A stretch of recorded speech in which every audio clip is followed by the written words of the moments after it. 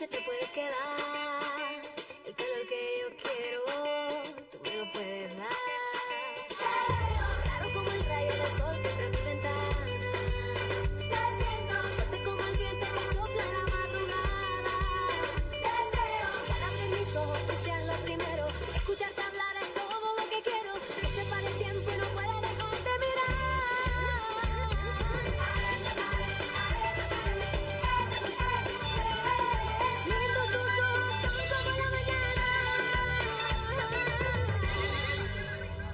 Estamos arrancando la revista El Día de Bolivisión en el ombligo de la semana, hoy miércoles. Buen día, Santa Cruz. ¿Cómo le va, señora, señor? A levantarse. Hoy es un día muy lindo, hace frío todavía, Nicole. ¿Cómo Sí, le va? ¿cómo está. Alexis? Muy buenos días. Igualmente, feliz miércoles para todos. Estamos arrancando. Hace un poco de frío otra Sí. vez en Santa Cruz. Me imagino que usted está con su colchita bien abrigado. Bueno, quédese en camita durante nuestra programación porque hasta las 9 de la mañana tenemos de todo para contarle en la revista del día. Ayer justamente en la noche que se llevó a cabo esa vigilia donde mucha gente pudo asistir hasta la joyería Orocronos. Exacto. Eh, hubo bastante participación de la ciudadanía que llegó de una u otra manera para solidarizarse con esta familia, ¿no? ¿Sabe qué? Me quedo con el mensaje que dio el padre.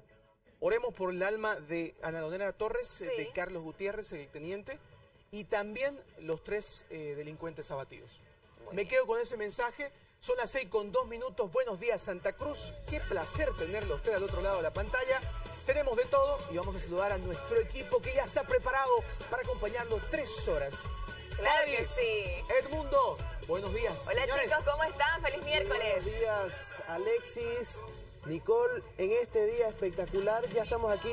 ¿Cómo está, Fabiana? Muy buenos días, Edmundo. Estamos listos, ¿no? Para presentarles la mejor información, la- los mejores sabores, los mejores, todo lo mejor aquí en la revista Al Día, ¿no, Fabiana? Exactamente, mundo. Muy buenos días, chicos. Muy buenos días a toda esa gente linda que nos está mirando a esta hora de la mañana. Agradecerles primeramente porque sé que se levantan, hacen un esfuerzo por mirar también el programa en este frío que ha presentado Santa Cruz de la Sierra y desearle muchas bendiciones en este inicio de este día.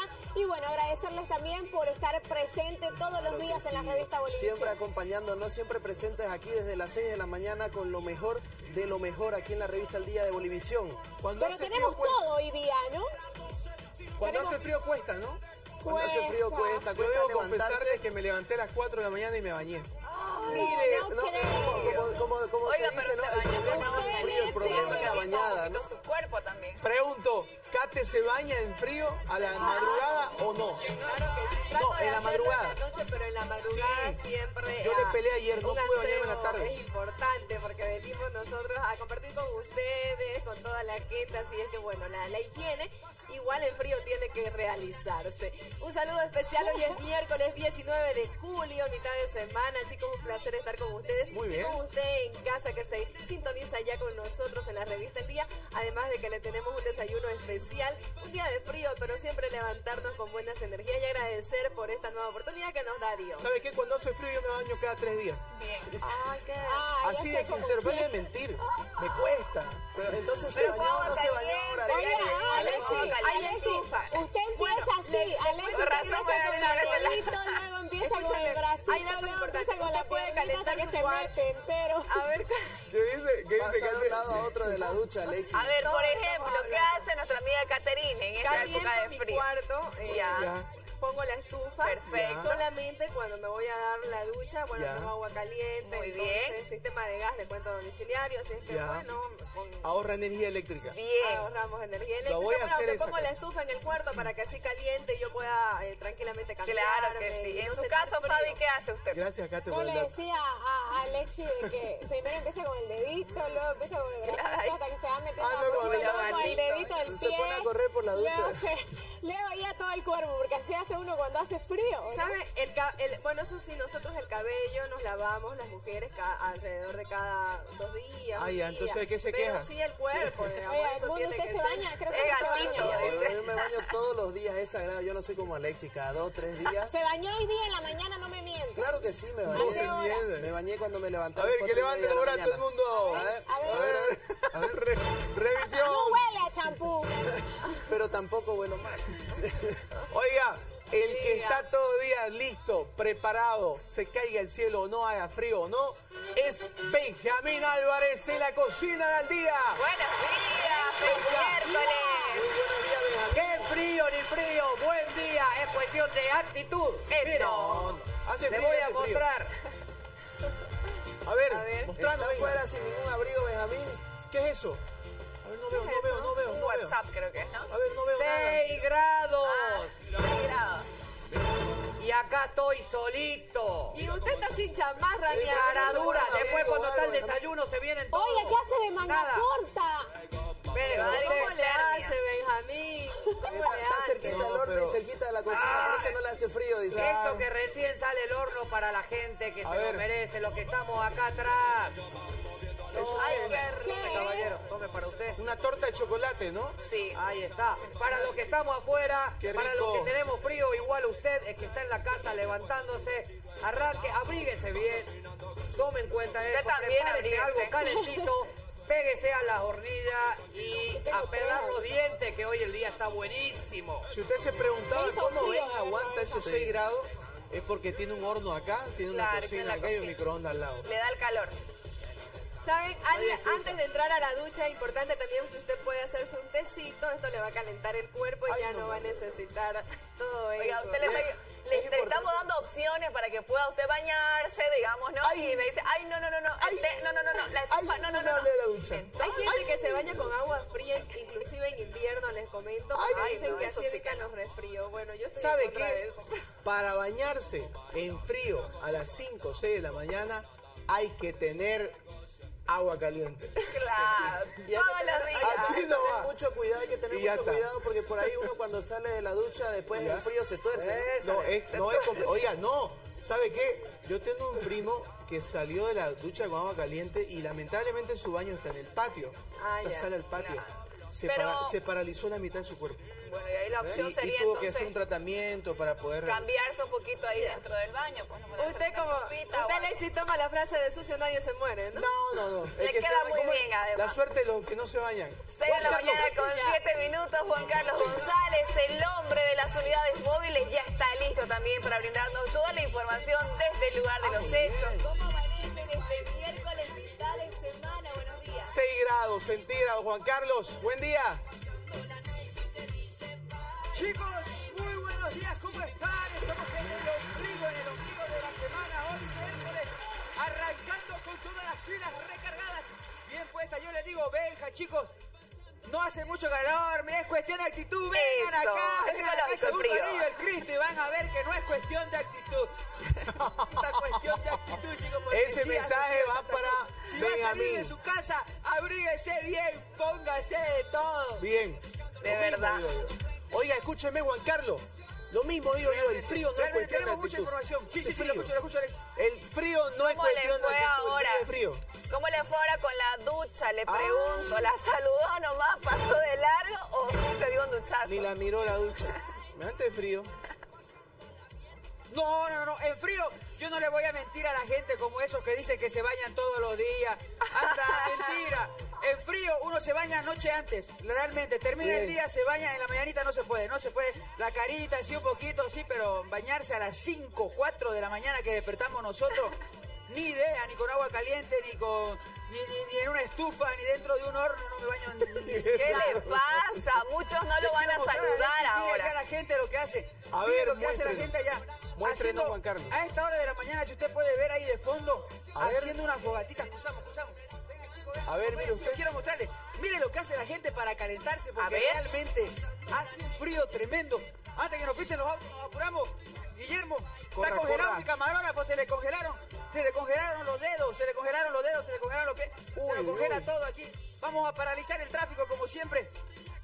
Nos venimos por este lado. Ahí en el Quiero que vea, quiero que vea esto, Alexis. Mire, mire, mire, mire. A ver, estamos con un Es frío en tanto el frío que la gente que se levanta muy temprano a trabajar tiene que hacer una fogatita porque ¡Epa! realmente, señor, tremendo el frío, ¿no? Ah, frío, frío, frío. No se puede aguantar. No se puede aguantar, sí, creo. Calentar un poco. Ah, claro, un poquito calentar. ¿Cómo está? ¿Cómo le va? ¿Bien? Desde temprano para trabajar. Acompañando a papá. ¿Qué tal el frío? Fría. con esto nos calentamos un poquito. ¿Nos podemos acompañar? ¿Podemos nosotros apoyar? Meta una manos ahí, Juan Carlos. ¿Se puede? Ponga ¿Nos las manos. no? Aprovecha ya que está afuera y hay fogata, caliéntese. Claro. Uy, cuidado, cuidado Juan Carlos con eso. Ojo. Cuidado. Claro, nosotros vamos a poner aquí para, vamos a poner aquí para el fueguito. Eh, aquí va a estar eh, Guillermo atento con la cámara y vamos a estar, Alvarito, vos fijate, la alcaldía por ahí viene y nos lleva todo. Juan Carlos, Porque no está permitido, hay mucho foco de calor, decían ayer, pero la gente realmente está muriendo de frío aquí en Santa Cruz. No estamos acostumbrados, Alexi, no estamos no, acostumbrados. oiga, me mató. Me mató con esa fogata en pleno centro en el segundo anillo y el Cristo Redentor. Este, solo faltan los choricitos y los masmelos ahí, Juan Carlos. Claro, y ahí se armó, ¿no? Y la Y parrillita. una guitarra. ¿No? Bueno, ya. Y una Los guitarra. choricitos, ¿será que, ¿será que yo compro un kilito de chorizo y lo ponemos? Y una guitarra, dice Nicole. Oigan, Bien, Juan bien. Carlos, gracias. Un abrazo para usted. Hay Hay información sí. importante para compartir con nosotros. Hace frío en Santa Cruz, amanecemos con bajas temperaturas. Está hielo en la calle, así que abríguese los chicos que van a salir a clases. Abríguelos también para salir. Y arrancamos, nos conectamos con la información, Nicolás. Claro que sí, buen entretenimiento, pero la información a través de nuestros titulares.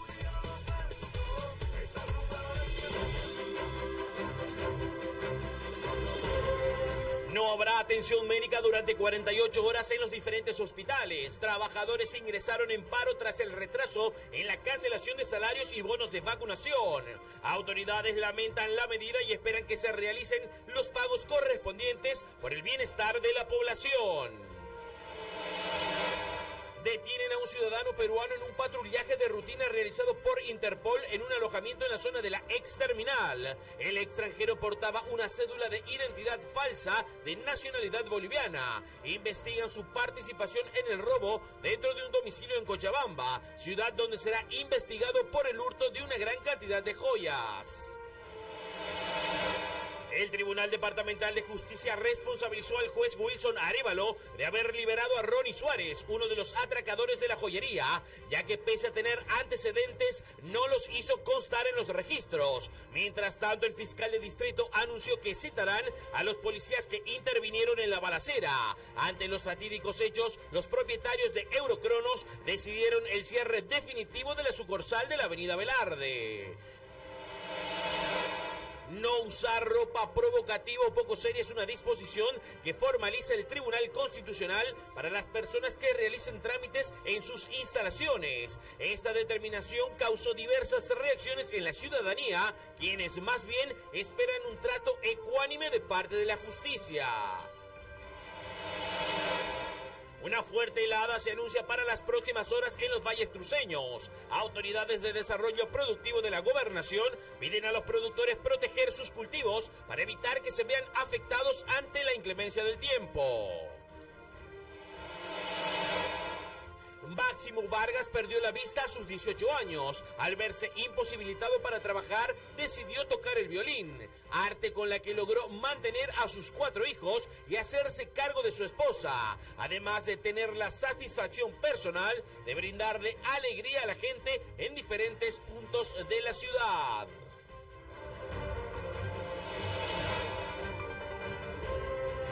El espíritu de la red Bolivisión es mostrar los valores de la vida que por la cotidianidad de nuestras actividades diarias tal vez se vuelven invisibles. Esta, por ejemplo, es la historia de Máximo Vargas, quien a sus 18 años lamentablemente perdió la vida y desde ahí, junto a su violín, se gana el sustento para su familia y para sus hijos. Hoy conocemos esta historia de valentía eh, para sacar adelante a su familia. Hoy en el día también estaremos hablando sobre las alergias oculares, ya que aparecen en esta época de frío. Les daremos datos importantes para que usted tenga el cuidado si es que padece de ellas, gracias a un especialista. Este tema estaremos desarrollándolo hoy en el día. Y atención porque hoy en Al Día vamos a estar hablando acerca del delfín boliviano, que es el único mamífero acuático en nuestro país y que se encuentra en peligro de extinción. Todos los detalles usted lo va a conocer en la revista Al Día. 6 de la mañana con 14 minutos iniciamos nuestro bloque informativo que ayer se registró dos robos, intentos de robo precisamente en un inmueble. Al verse descubiertos estos eh, antisociales se dieron a la fuga. En la zona del cuarto anillo Avenida Santo Dumont, antisociales patearon las puertas de un domicilio en varias ocasiones para ingresar a los dormitorios. Sin embargo, los propietarios dieron parte inmediatamente a la policía. Estaba dentro del cuarto. forzajearon la puerta, forzajearon la puerta y patearon. Solo eso. Varios uniformados fuertemente armados llegaron inmediatamente al pedido de auxilio, realizaron un rastrillaje por la zona, sin embargo, los delincuentes se dieron a la fuga. Y yo grité y ya después ya no, ya no, ya no. mi hijo llamó a la policía. No, no, solamente forcejeaba la puerta. No, no, no vi nada, no, no, no vi, solamente vi que la puerta forcejeaba y pateaba.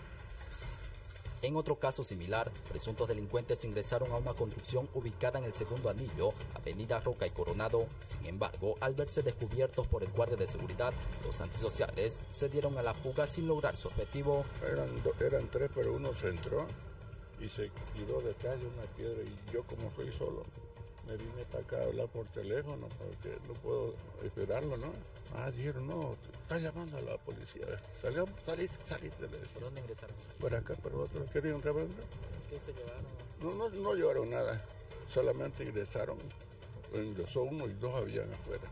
Las víctimas ya sentaron la denuncia correspondiente y la policía se encuentra movilizada en busca de estos presuntos delincuentes. Y le contamos que en la carretera al norte una persona resultó gravemente herida luego de que su vehículo se volcara. Esto, según testigos, producto de un bache. Aparentemente el exceso de velocidad y el mal estado de la carretera fueron las principales causas de este accidente de tránsito, donde el conductor del vehículo resultó gravemente herido y sus dos acompañantes con golpes en diferentes partes del cuerpo. El hecho ocurrió en el kilómetro 14, carretera al norte. Y para cuando de allá se ha venido, oiga, a dar un, un movimiento y ya está unos cinco vueltas dan hasta llegar aquí. Paramédicos de la policía llegaron inmediatamente al lugar para brindarle los primeros auxilios y posteriormente lo llevaron al centro de salud más cercano para que reciba las curaciones necesarias. Ahí pues dos, dos tres pasajeros que venían, mira. Dice el, el acompañante que un bache se salió de la carretera y al- o sea con la velocidad del bache y saltó y se volcó. Sí señor, el, el chofer está lastimado, está quebrada la pierna y todo. La unidad operativa de tránsito del municipio de Guarnes realizará las investigaciones pertinentes para determinar qué habría ocurrido exactamente y si el conductor no se encontraba bajo influencias del alcohol. Ahora hablamos de un incendio que se registró en el barrio Villa Pillín. Afortunadamente los vecinos lograron controlar lo que se había originado en unas maderas y material de construcción. Este incendio se produjo en un domicilio anoche.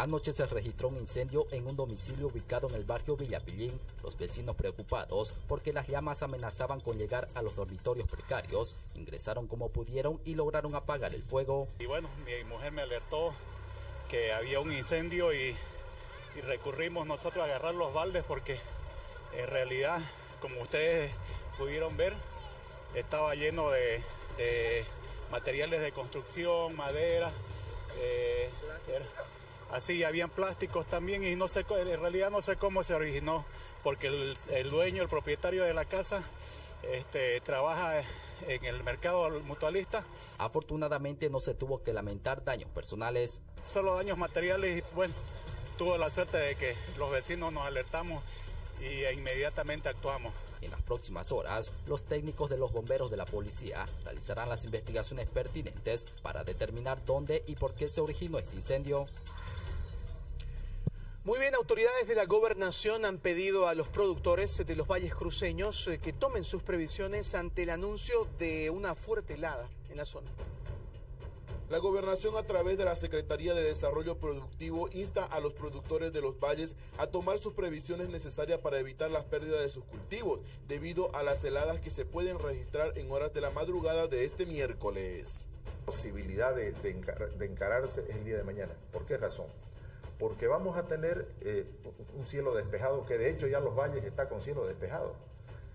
Vientos calmos, vientos calmos eh, y de alguna manera con eh, temperaturas en algunos municipios como Valle Grande, que vamos a tener un promedio de menos uno, Postrer Valle menos dos de promedio y Quirusilla cero grados, tres municipios que están es propenso a que la helada se presente la- la- el día de mañana, en la madrugada del miércoles. Y eso implica que nuestros productores eh, adopten esos métodos para eh, evitar la quema de sus cultivos. Luis Alpire explicó que hasta el momento solo ha caído nevada en los valles, pero no así la helada, y si en caso cayera esto afectaría más a los cultivos. Hasta ahora no se presentan heladas. Lo que se verificó el día de ayer fue nevada, fruto del ingreso de esa masa polar de aire que proviene del sur de Argentina y sur del Brasil, que originó esa, esa reducción drástica de la temperatura que en el caso puntual de la estación agrometeorológica de Chusliac, que es la que eh, referencia la temperatura de cuatro municipios en los valles, es decir, Valle Grande, Postrer Valle, Pucaray, Moromoro, estaba a las 9 de la mañana el día de ayer a, 4, a menos 4.1 grados, abajo de cero. Y eso eh, supuso esa nevada acompañada de humedad, de nube fue lo que originó eh, esa nevada sin precedentes. La gobernación pidió que para evitar grandes pérdidas los productores deben optar por métodos tradicionales como surcos con agua y hacer fogatas. 6 de la mañana con 21 minutos en otro tema, peluqueros y peinadores artesanos se declaran en emergencia rechazando la ley que indica que deberían pagar impuestos y también beneficios sociales a sus operarios. Este 20 y 21 de julio en el departamento de Cochabamba, peluqueros y peinadores de todo el país se reunirán en una asamblea general para determinar nuevas medidas de presión, esto porque rechazan emitir facturas y dar beneficios sociales a todos sus operarios. Estamos de emergencia nosotros pues, convocándonos, eh, ya hemos tenido un ampliado departamental en Santa Cruz, aquí en, en la Censura Obrera Departamental, no hemos sido escuchados y justamente hoy nos encontramos en emergencia que estamos convocando a nivel nacional. Se va a llevar en Cochabamba un ampliado de nacional. Son las demandas, son el, el impuestos eh, del NIT y laboral. Y en el laboral nosotros, los peluqueros, justamente nos quieren, nosotros, el gobierno nos quiere mandar como si fuéramos nosotros grandes empresarios, pero los peluqueros no somos empresarios grandes. Se tiene que revisar la ley laboral y por eso es que nosotros los peluqueros vamos a impulsar, porque no solamente en mi sector, son los sectores gremiales y muchos sectores que, que somos los artesanos que sufrimos con esta ley, con esta ley laboral. Y el impuesto, en los impuestos nosotros pues no tenemos una capital. Dirigentes indicaron que sus ganancias no pasan los 3 mil bolivianos y que no tienen cómo descargar al IVA ya que sus equipos de trabajo lo compran cada seis meses. Como él dice, dar un beneficio a un operario porque ellos son nuestros socios, ellos ganan más que nosotros, ellos se llevan la mitad. Nosotros nos quedamos con la mitad y de esa mitad pagamos alquiler, compramos tijeras, navajas y todo, agua, luz y quedamos con menos que ellos y no es justo que nosotros le demos un beneficio a ellos, ¿no? ¿Rechazan entonces el pago de impuestos? Totalmente rechazamos el pago de impuestos. El sector no descarta marcha en los nueve departamentos para la próxima semana como medida de protesta. Hablamos ahora del sector salud porque los trabajadores confirman un paro de 48 horas en los tres niveles de hospitales. Luego de un ampliado que sostuvieron los trabajadores en salud, determinaron nuevamente realizar un paro de 48 horas, esta vez con el apoyo de las provincias. No hemos tenido ninguna comunicación, a excepción de nuestra confederación que nos han indicado que probablemente sea el lunes el pago y eso no, lo han aceptado los compañeros.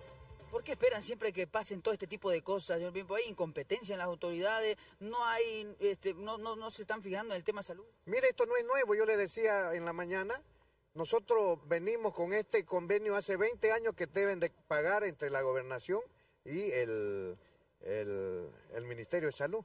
Lamentablemente no sucede así. Tiene que venir con un paro perjudicando a la población. Por otro lado, el concejal del MAS, Tito Sanginés, espera que se dé una solución definitiva. Acá se están haciendo un paro de esa naturaleza porque la gobernación no les ha cumplido con esos, con esa, con esos beneficios. Eh, por lo menos en el tema municipal... Eh, el decreto que establece el pago de bonos y otras situaciones no, no lo menciona la alcaldía municipal. Y esa parte hay que corregir porque pone en un entredicho jurídico el de que sin que esté autorizado el gobierno municipal pague bonos. Porque si lo hace ya estaría incurriendo en actos de corrupción y eso también se cuidan los, los, los, ejecutivos de la alcaldía municipal. Mientras tanto, esperan que las autoridades de la gobernación puedan pagar lo requerido. Vamos a cambiar totalmente de información, tocamos temas de farándula y en esta ocasión de mucha belleza porque Pipo Peinador de Reina ya está en los preparativos para elegir a la nueva soberana de Santa Cruz. Como todos los años, el encargado de presentar a la reina de Santa Cruz está en los preparativos y los arreglos de los tocados que llevarán las damas de honor. Primeramente dando gracias a nuestro Señor por permitirme cumplir un año más con esta tradicional serenata a Santa Cruz, ya que son 30 años que cumplo este año haciendo la coronación de la reina de Santa Cruz, para lo cual me siento muy feliz de haber eh, de tener ya puedo decir el nombre. Para la coronación de la soberana ya se tiene marcado un programa donde asistirán autoridades municipales. Que viene acompañada de 20 distinguidas damitas que forman parte como corte de honor de la reina. Eh, quien es coronada precisamente nuestra reina por nuestro señor alcalde, el señor Percy Fernández. Se va a denominar esta coronación este año. Este año le he puesto el nombre de Santa Cruz Eterna Primavera, ya que hasta en invierno nuestros toborochi florecen. El lugar de la coronación será en el tradicional Parque El Arenal con la participación de artistas cruceños que amenizarán esta fiesta. Y hablamos de un hecho que consternó realmente a todo el país, el intento de atraco a la joyería Eurocronos. Y es que anoche muchas personas se dieron cita al frontis de esta joyería para llevar a cabo una misa con banderas blancas y velas en las manos, pidieron paz para los familiares de los fallecidos. Momentos especiales fue lo que se vivió a las afueras de Eurocronos, ya que se realizó una misa para los fallecidos en la balacera suscitada hace unos días que consternó a la ciudadanía. Estamos todos preocupados, atemorizados, no sabemos qué va a pasar, estamos aturdidos. Y la verdad esta noche es una buena oportunidad para que nos tranquilicemos, tengamos calma, confiemos en el Señor. A este importante acto asistieron familiares, amigos y vecinos de la zona que con banderas blancas y velas pedían paz para los corazones ante esta tragedia. Quiero agradecer también a todas las personas de esta querida ciudad tan noble que nos ha mostrado su apoyo desde el día que empezó esta tragedia, desde todos los rincones de Bolivia también y nuestros amigos del exterior, quienes se han unido en oración por los fallecidos, nuestra querida Ana Lorena y el teniente Carlos Gutiérrez. Vamos a tratar de dejar de llorar tu partida y vamos a tratar de convertir estas lágrimas en fuerza y unión, recordándote siempre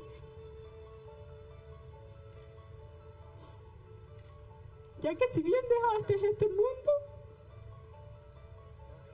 pasaste a vivir en nuestros corazones y en el de Bolivia entera.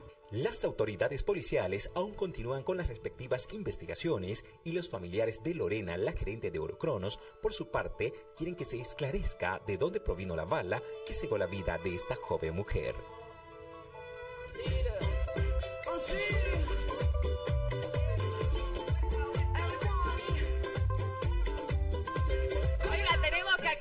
Calentarnos de alguna forma, lo vamos a hacer bailando. empezar bailando Así que a la la cuenta de tres, una vueltita. Es la excusa ideal. Sí. No tengo frío. Eso, una vueltita a la cuenta de tres. Ya, uno, dos, tres. Muy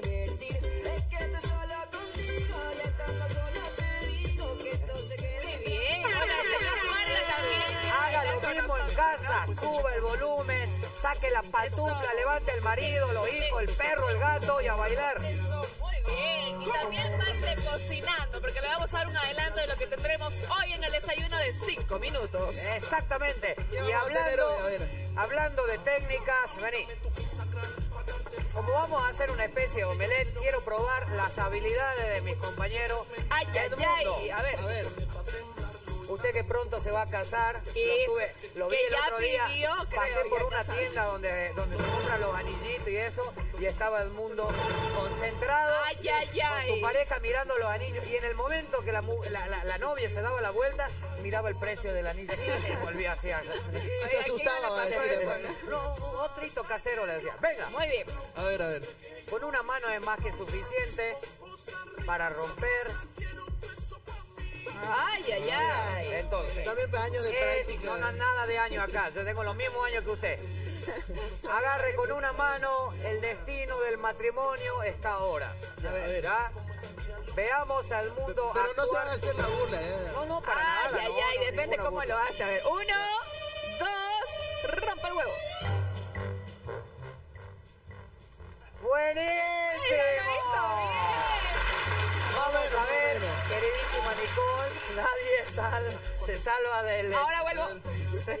Le toca a Nicole, le toca a Nicole. Vamos, Nicole, yo confío en que tú puedes. ¿Cómo lo Sencillamente, mira, La verdad es que ni yo lo sé. inclina la muñeca en un grado de 45 Yo soy- grados. yo soy un, un poco eh, brusca por la cocina. Bueno, calculale, simplemente ten en cuenta que se tiene que partir un poquito, Solo usar un la poquito. fuerza precisa, abriendo la falange del dedo. La inteligencia ante lo va a reventar en toda la mano. Trate para romper. Vamos. Ya, a ver. En casa probemos, por favor. Fuerte, despacio, como la... Depende del huevo. Depende de la ¿Me gallina. cómo querés que te rompa, plantar? Preparado. Depende del huevo, dice. Ya, a ver. Listo. Me me da Del otro lado, del otro lado. No, en no casa no miren, claro. ce- Cerremos los ojos. Dale, vamos, Nicole, nadie Bueno, mira. Señor camarógrafo, dése la vuelta. Ya. Ya, Nadie está mirando. vuelta, se pone nerviosa. No, no, del otro lado. ¿Cuál otro Es lado? que lo... El mundo Ya. no te haga el... el- el- Ya, a vamos, ver, vamos, vamos. Vamos, Nicole. Vamos, Nicole. Oiga, lo bueno es que lo intenté, digamos. Bien, le hizo una Muy tapa, bien, funcionó. ¿Y sabe qué? perfecto. ¿Sabe qué? No Salió se me mejor. cayó ninguna cascarita, a diferencia de mi compañero Edmundo. Es verdad. ¿Se le Entonces, cayó de verdad? prueba superada, ¿no? Muy bien, entonces. Esas cascaritas son del mundo. No, yo recién la estoy viendo ahorita, no, no. ¿Qué le pasa? eso, que empieza a temperatura ambiente. Quesito crema o algún yogurcito que tenga en casa. Perfecto. ¿Qué más? Me he comprado esto ¿Algunas ayer del verduritas? hiper. Y hablando del hiper, otra vez el buen trato con su Qué carnicero. bueno, eso es importante. Qué lindo ir a Pero comprar. ¿sabe qué? En cualquier lugar donde usted vaya, siempre un saludo. Buenos días, buenas tardes, muchas gracias. Siempre el saludo. Y bueno, la buena Es atención muy lo importante siempre para que lo traten bien a uno Claro así, le den los sí. mejores cortes de carne, porque si no le dan lo demás al fondo, lo que ya no sirve. Pura verdito, ¿no? Es que recuerden que el buen trato es contagiado el buen trato. Entonces, qué bonito ir a comprar, te tratan bien, salís contento, al taxista contento y ya generamos una cadena de Claro que contenturas. sí. Algo líquido para calentarnos. ¿Qué nos va a invitar? A ver, cuéntenos. Mire, tenía unas, unas piñitas que se podían estar pasando, pónganle el agua y azúcar y esta reducción, Un almíbar. simplemente ahí, un tecito calentito Ay, de qué piña. rico. Aquí nos vemos entonces en minutitos nada más para el desayuno. Ya volvemos.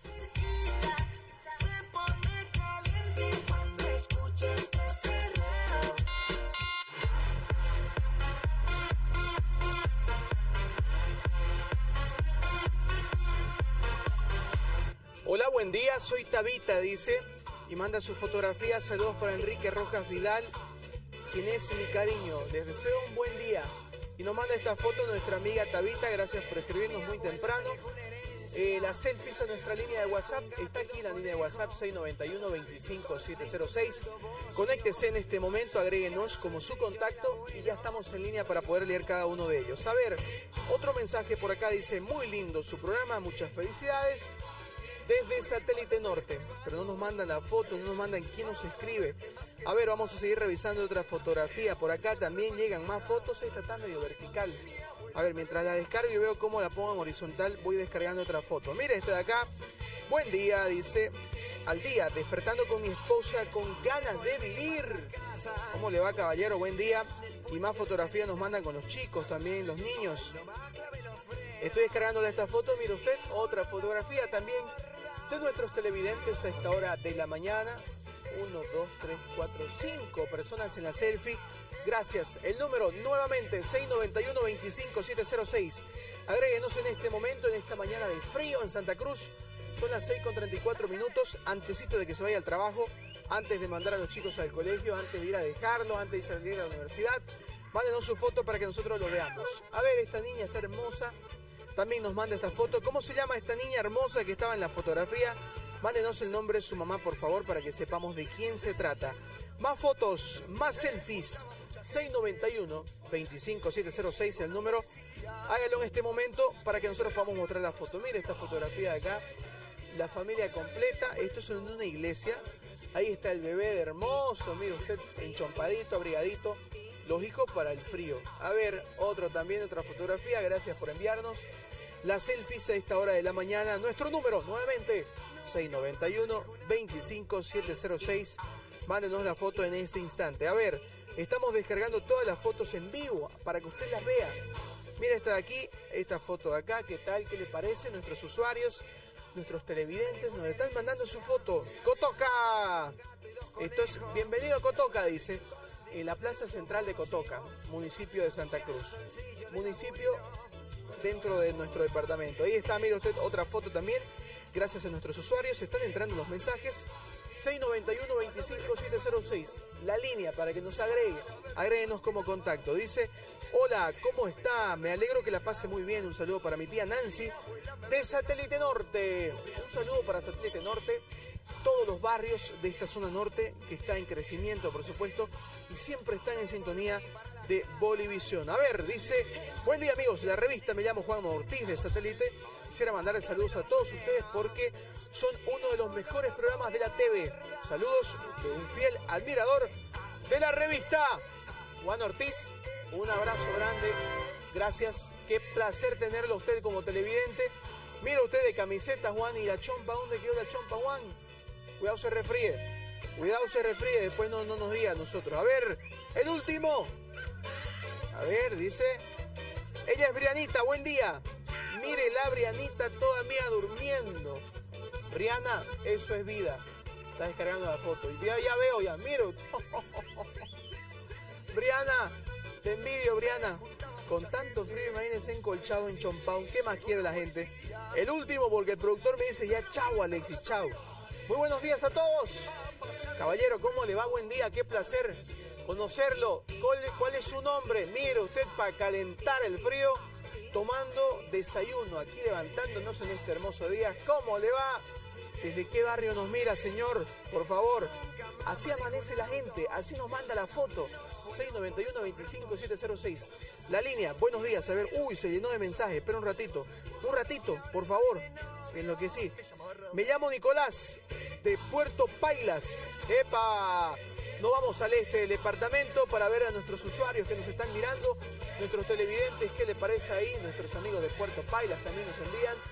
Está en el gimnasio, ando en la moto, listo para subir a la motocicleta. Último mensaje, el último. Ah, en Villa Carmela, dice nuestro amigo que está desayunando. Gracias, caballero. Que le vaya muy bien, dice. Buen día a todos. Mirando el día, soy Ulises Alexis, dice. Muy bien, gracias. Ulises, un abrazo. Mire este bebé hermoso. Abríguelo, por favor. No lo deje así porque si no, no respondemos. Gracias, un abrazo. Todos estos mensajes que están entrando, fíjese. Buenos días, señora Alexis. Dice que tenga un buen día. Gracias, caballero. Señora, en realidad. ¿Cómo le va? Buen día. ¿Y su nombre? ¿Y su nombre? Vamos a volver nuevamente con nuestra bloque de WhatsApp más adelante, no se preocupe. Todas las fotos salen en nuestra cápsula.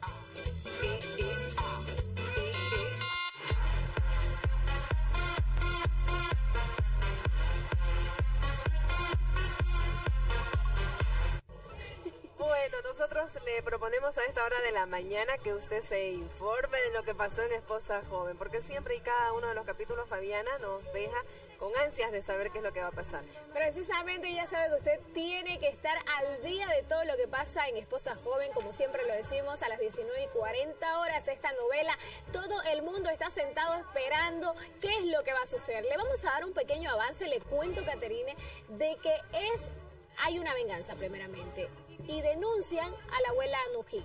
A la abuela Nujín, claro que sí, siempre están todos ahí involucrados y cada vez nos deja con más suspenso. Veamos qué pasa. ¿Y sabe qué hace la policía? ¿Qué? Ahora la policía va a la mansión para detener a la abuela Nujín. ¿Quieres saber? Se lo mostramos aquí en un pequeño avance. En el capítulo anterior de Esposa Joven. Ya te dije que no quería volver a verte la cara. Pero, señor, vine aquí a servir el té.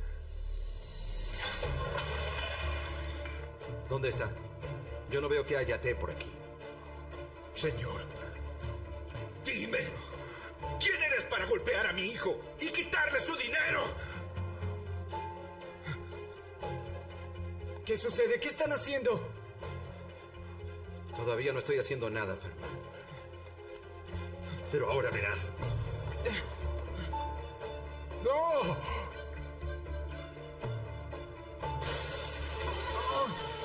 Y ahora en más ya no tienen trabajo.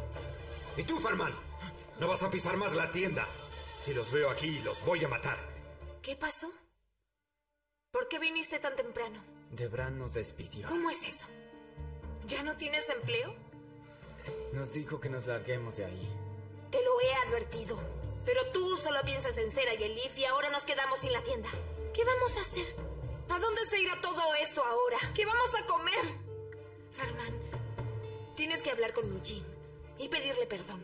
Nosotros no iremos a pedirle perdón a nadie. No van a salirse con la suya. ¿Qué vas a hacer, papá? Iré a la policía. Ahora. Diré que secuestraron a mi hija.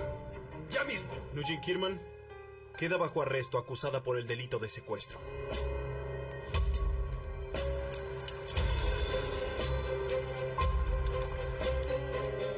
Te atreves a hacerme esto?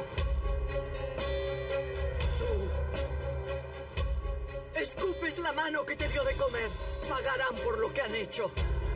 Ya lo verán. Ahí veíamos las amenazas que tal de la abuela. ¿Qué tal, no? Y que le da de comer, dice, o sea, porque ella quiso, ¿no? Porque ella lo quiso casar Claro con que su sí. nieto. Le cuento que ahora la profesora Melet y Asap son ca- capturados por los hombres de Bao y esto con la intención de asustar a Melet. Esto con la intención precisamente de asustar a, Bel- a Cera y de Bran le cuento que trata de asustar a Cera lanzándola, adivine dónde, al río. Al río. ¿Sabe Pobre para Cera, qué? cada cosa que vive. Amenazándola para que le diga dónde está su padre y su hermanita. Bueno, nosotros le vamos a mostrar entonces un adelanto de lo que tendremos hoy en Esposa Joven. Veamos. En el próximo capítulo de Esposa Joven.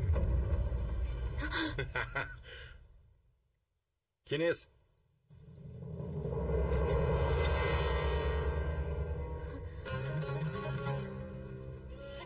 ¿Y bien?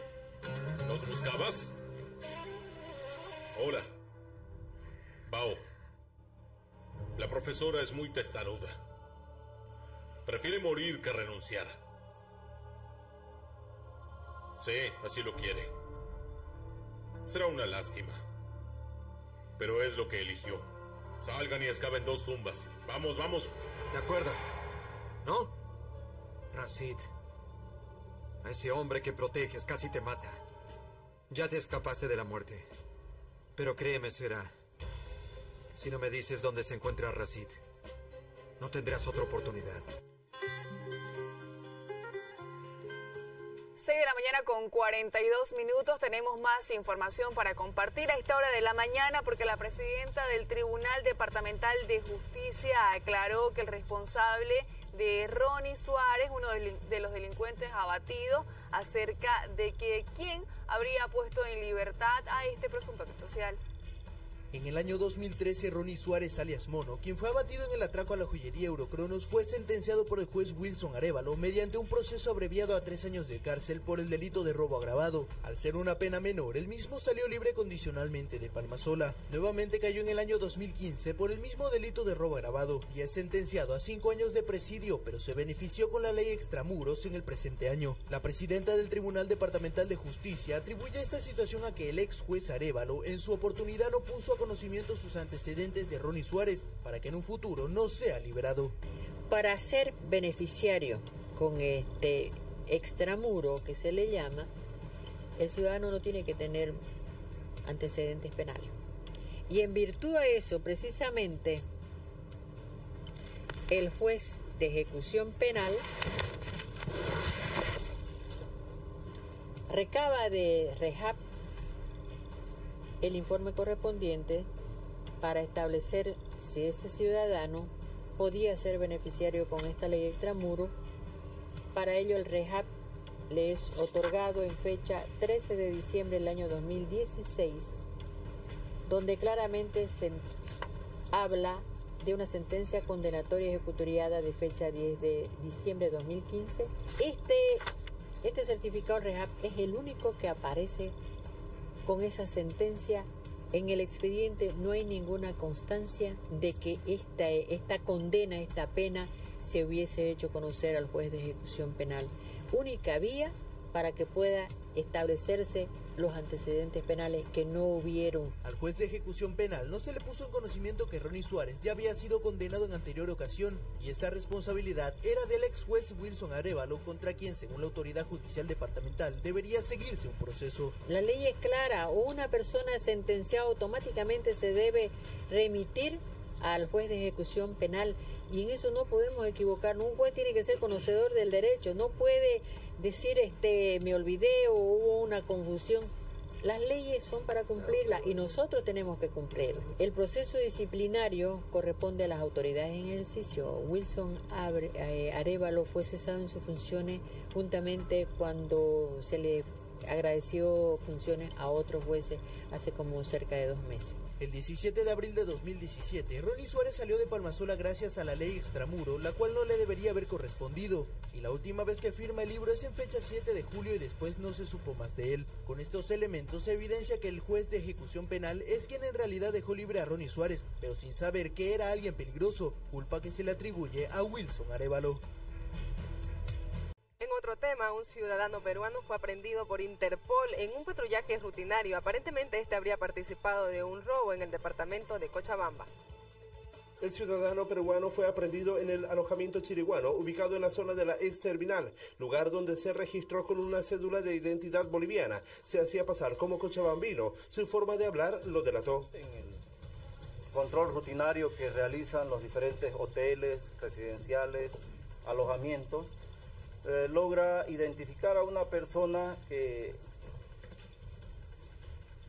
está registrada con nombre de boliviano, pero en la entrevista, el mismo lenguaje que utiliza, se delata y se identifica como una persona peruana con el nombre de Ademar Antonio, perdón, Edward Christopher Rodríguez Castillo, es de nacionalidad peruana.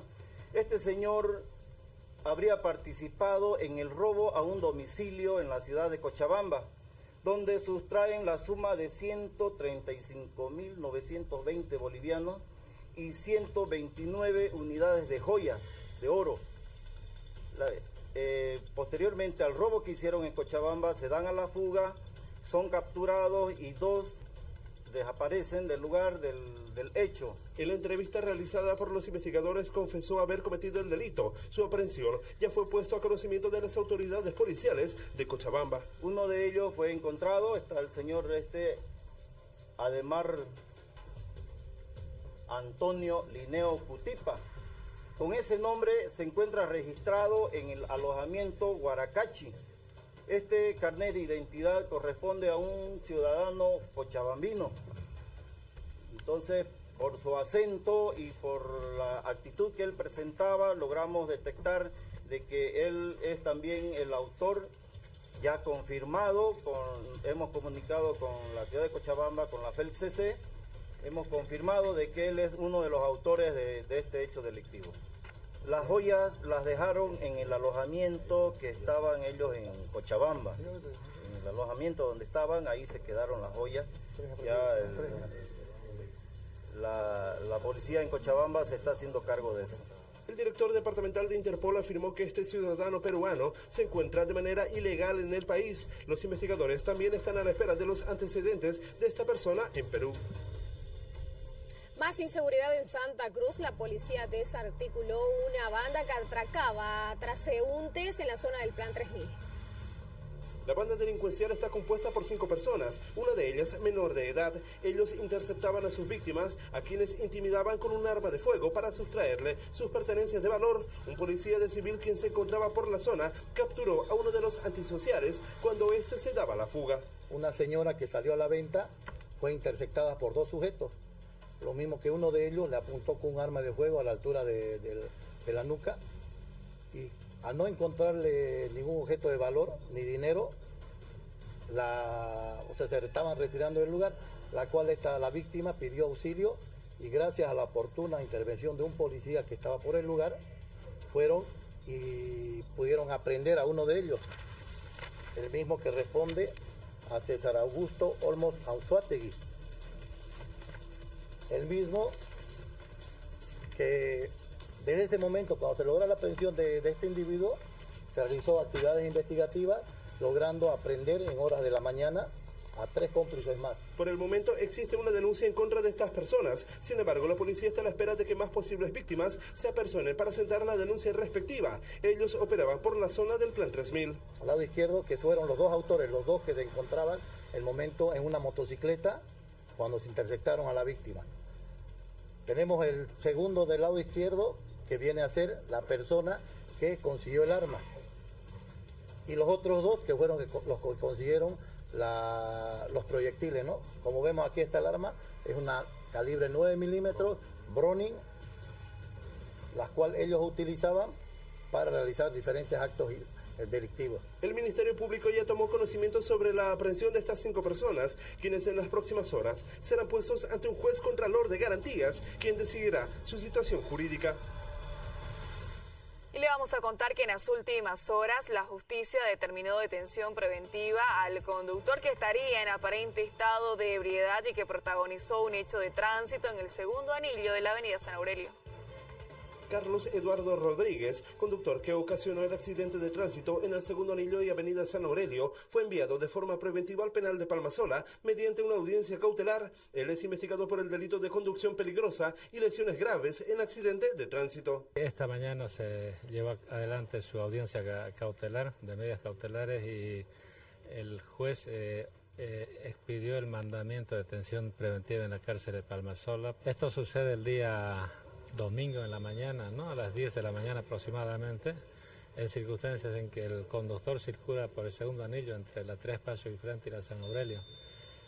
Él iba eh, circulando por el carril central, eh, presumimos que por el exceso de velocidad y porque estaba bajo influencia alcohólica, eh, realiza una maniobra para salir hacia, la, hacia el carril derecho, ¿no?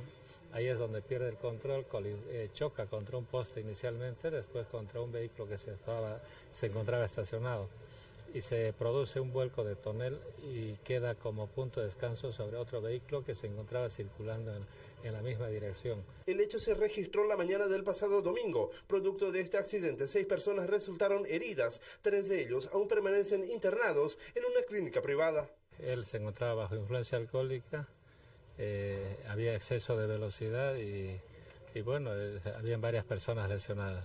¿Qué se sabe de las personas lesionadas? Ah, tenemos conocimiento que habían tres todavía que estaban eh, recibiendo atención médica, pero que están fuera de peligro. Bueno, estas personas aparentemente ya, están, ya estarían en sus domicilios, pero esa información todavía la estamos procesando. ¿no? Este hecho también dejó grandes daños materiales. Los vehículos aún permanecen detenidos en dependencias policiales de tránsito. Pese a las bajas temperaturas registradas en nuestra ciudad, los trabajadores fabriles están cumpliendo su segundo día de huelga de hambre en las afueras de la Caínco y Juan Carlos González con nuestra unidad móvil se encuentra en el lugar para conocer cuáles son las demandas y los pedidos de estos trabajadores. Juan Carlos, lo escuchamos. Así es Alexis, luego de una marcha realizada por los fabriles días anteriores, tres personas eh, decidieron realizar esta medida extrema de huelga de hambre aquí en la parte externa de Caínco.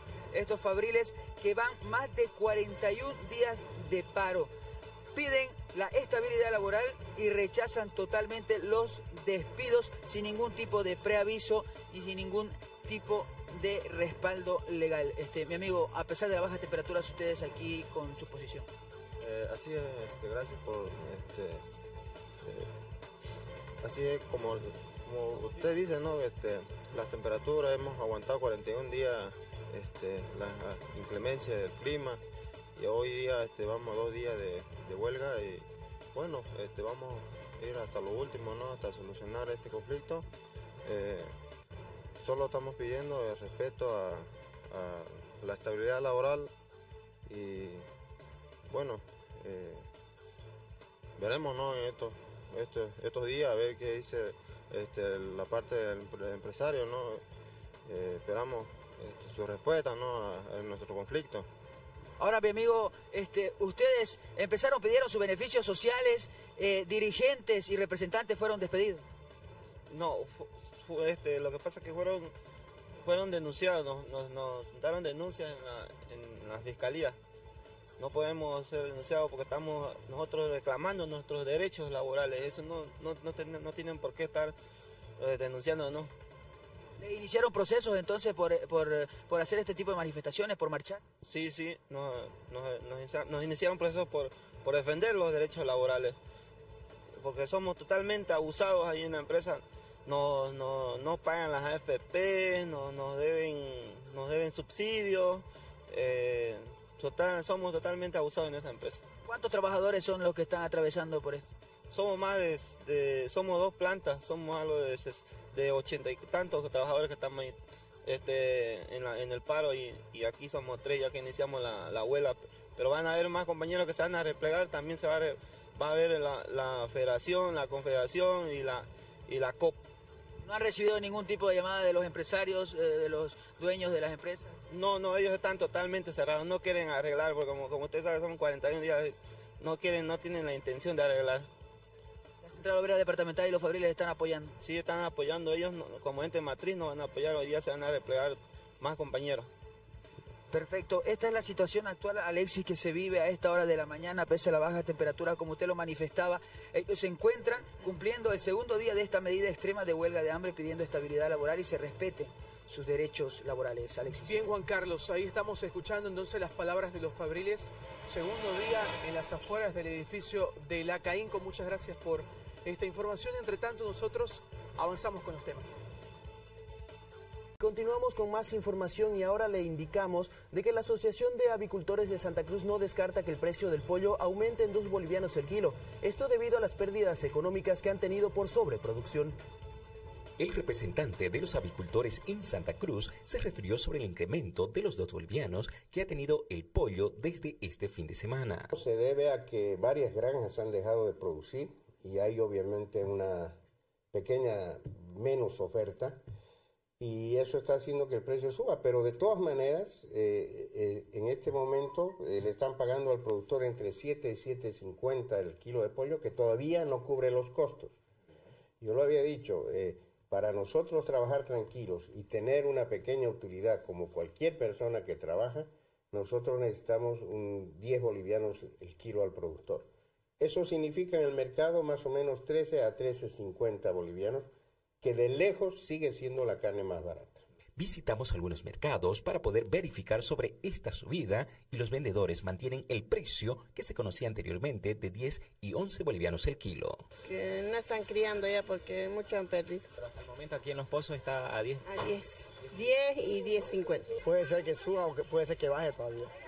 ¿Qué sería el incremento del pollo? En la granja no hay mucho pollo en, la- en los granjeros. Pollito está a 11 kilos. ¿Mairaneño? Igual, mairaneño, igual, sí. Lo que nos traen dice sí que va a subir. ¿Cuánto estaría subiendo? No sabría decir todavía. En las próximas horas se espera tener una mesa de reunión con los productores para poder planificar en cuanto a la producción del pollo. Bienvenidos. Ahora comienza el desayuno en 5 minutos.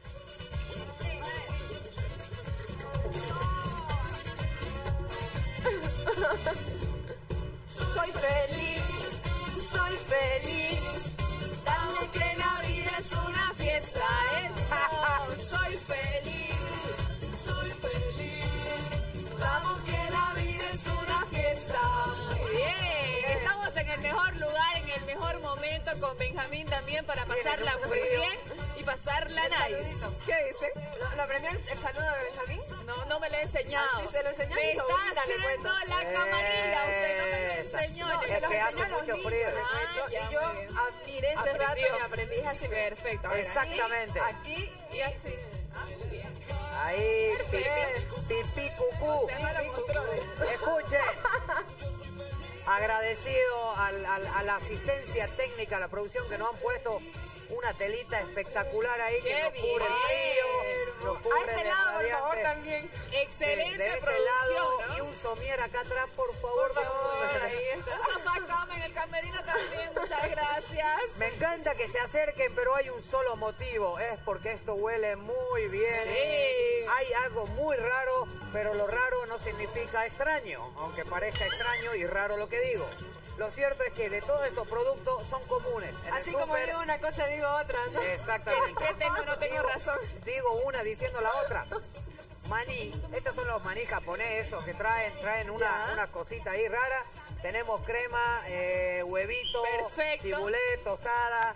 eh, y acá lo que veníamos haciendo la reducción de la piña. Ay, la piña natural. es una de mis frutas favoritas, me gusta. Esto lo voy a dejar a manos de Nicole. Saben muy Ay, bien ay, qué ay. vamos a hacer No con va a esto. estar en buenas manos. Y como Kate en ese momento todavía estaba con su piecito lesionado, Ya, fue cuando, ¿qué va a hacer cuando ella? mi ingreso aquí al, al canal teníamos unos té saborizados. Claro que sí. ¿Saben por qué, chicos? Porque este es el desayuno de tan solo cinco minutos. Vamos a comenzar. Arranque, Benjamín. Tiempo y marcador. 3, 2, 1. Por el frío. por favor. La reducción de piñas. Por allá, por Bueno, favor. nosotros le seguimos explicando, todavía el tiempo no corre. ahí.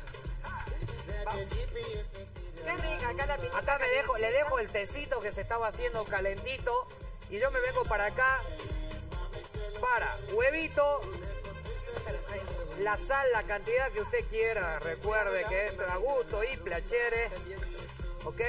Muy bien. Una pimientita que Pimienta, siempre viene muy bien. bien. Hay que probarlo para ver qué tal está. De todo Ahí, en esta favor. cocina, así que usted no se Bien. preocupe.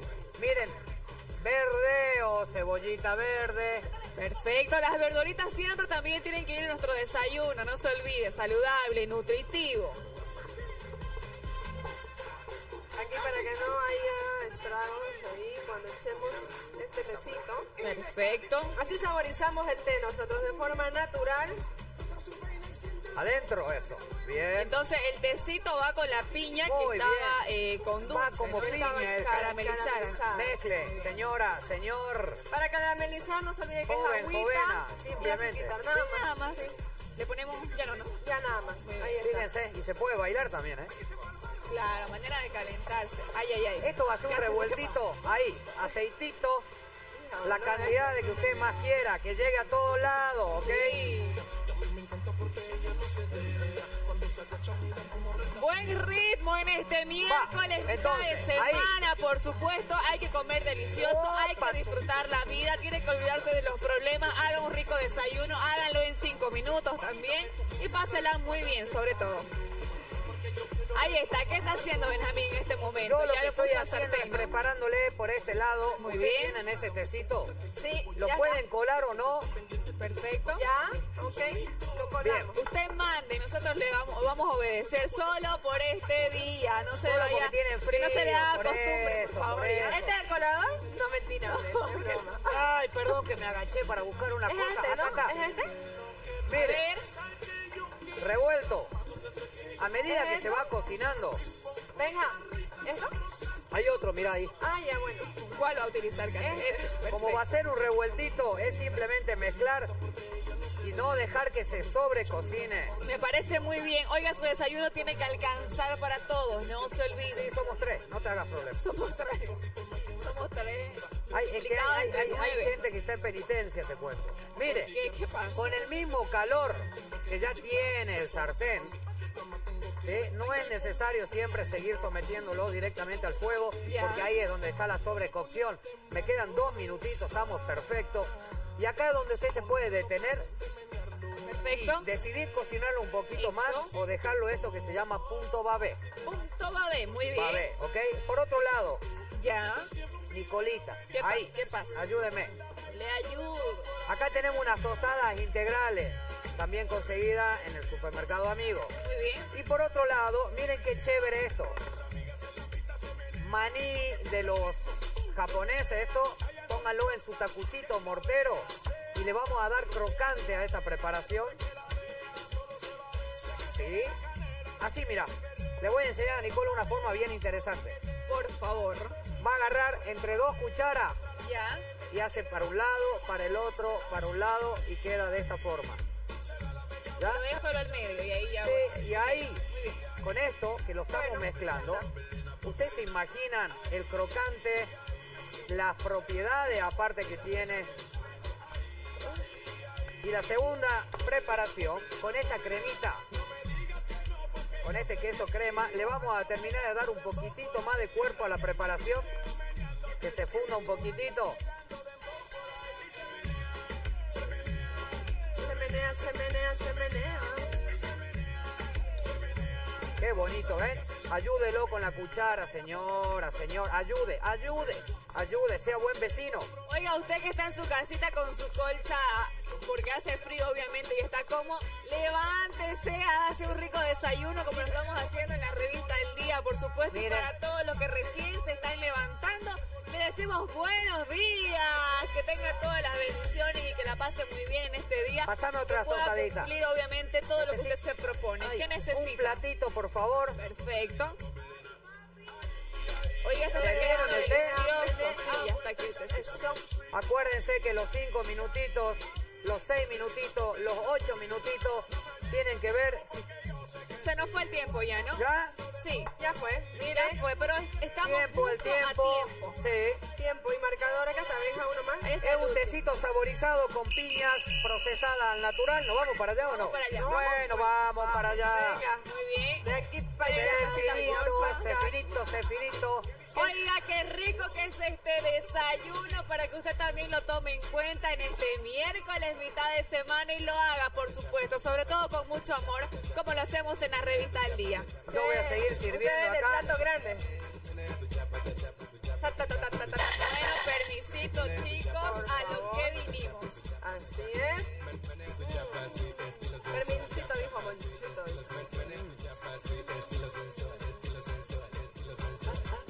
Gusta la chapa que la.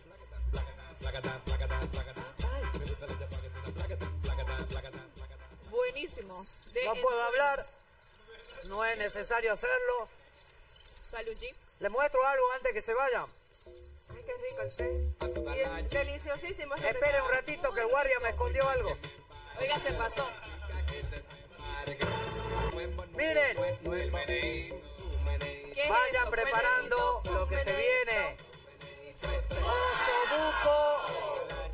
Doble cocción.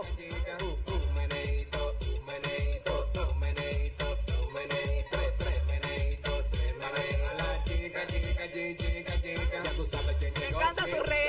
Eso, eso, eh, eh. La alegría presente. No soy el chompira. Perdón, le estoy contestando a la gente, en realidad tengo una confusión. Me hablan de un lado, me hablan del otro y le contesto a todos por igual. Quiero decirle que su desayuno está muy, pero muy bueno. ¿Qué pasó por ahí? Está tan bueno que derrama Está tan todo. bueno que se me Que cayó la de mesa la... también quiso probar. Claro, eso, muy bien.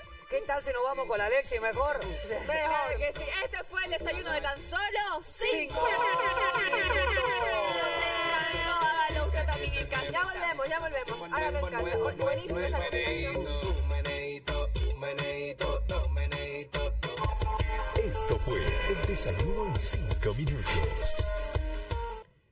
Le doy la bienvenida al señor Walter Terceros, quien es gerente de la Asociación de Productores de Hortalizas y Frutas. Y es que este sector está en emergencia por el anuncio de las heladas que iban a azotar los valles cruceños. Don Walter, ¿cómo le va? Buenos días. Muy buenos días gracias por la cobertura que nos ¿Cuál es la situación eh, que se, se vive en los valles cruceños? En este momento, bueno, como les decía hace rato, este, si bien es cierto, eh, tenemos un, un anuncio este, muy importante de parte de la gobernación en el sentido de que ya nos puede pronosticar los temas de frío, este- como ha ocurrido en la anterior semana, el viernes siempre eh, da el anuncio ese, lamentablemente a veces no llega, o sea, faltaría mayor cobertura para que llegue a todos los productores, ¿no? No sé, radio o televisión o lo que sea, pero llega a ciertos niveles, pero bueno, ya tenemos un conocimiento de eso y- y, eh, y gracias a eso, bueno, la gente busca ya, eh, prevé el- las heladas. Pero O sea, estaba anunciado el viernes, hicieron el anuncio, la gobernación. La gobernación de- cada de- vier- De un eh, frío polar. sí, siempre hace cada viernes, la gobernación tiene un sistema y hace ese anuncio, ¿no? Y el, el del viernes pasado seguro que era el de frío tremendo que iba a ser y lo que ocurrió en Valle Grande, Moromoro, este, parte de Poster Valle, la nevada.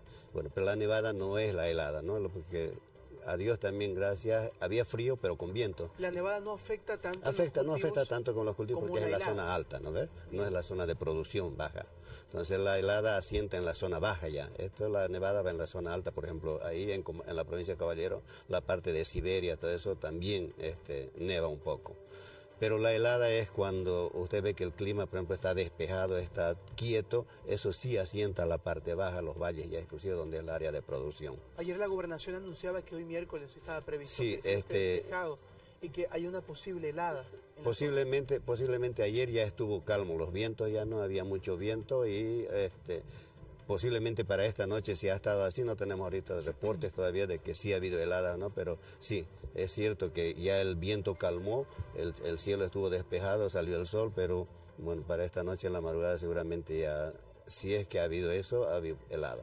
Pero no creo que haya sido tanto. Aproximadamente el 70% de la producción de hortalizas y frutas del departamento de Santa Cruz se produce en los valles. En los valles, eh, eh, fundamentalmente hortalizas, ¿sí? No hay otro lugar donde se pueda producir hortalizas que, que los valles. Ayer mostrábamos una nota en el mercado, en los mercados de Santa Cruz, y ya se ha registrado un aumento en el precio. ¿Eso es cierto Eh, por esta época de invierno o, o- o es especulación nomás? Seguro que es especulación, el, el tema es el siguiente, ¿no? Nosotros, eh, cualquier autoridad, cualquier medio que diga la helada afectó, que se va a quedar, que no", al- al- el comerciante aprovecha ese momento y dice, "Ah, sube los precios.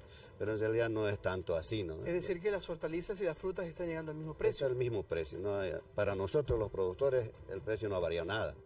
Son los comerciantes que lo hacen subir acá ya, ¿no? Con, la- con las noticias y todo. Peor si estamos declarándonos en emergencia por tema de la, en la producción que va a afectar y todo eso, ellos inmediatamente suben. Pero para nosotros como productores el precio no ha variado en absoluto.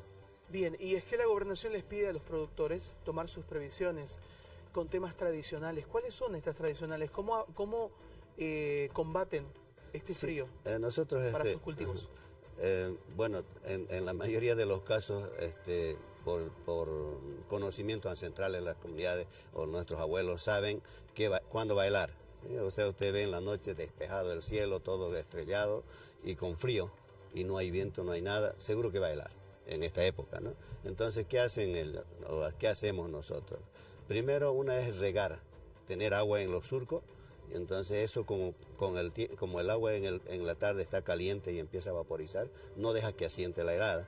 La otra es que ponemos en cada esquina de la, de la, de la producción, de las áreas de producción, juego que humea, calienta el ambiente y la helada no cae con, con fuerza. Afecta pero no tanto. Entonces, eh, esas son las previsiones que se hacen. Bueno, hoy en día ya ha aparecido la, la tecnología, ¿no? Y pueden poner las semisombras y todo eso que soporta un poco la helada.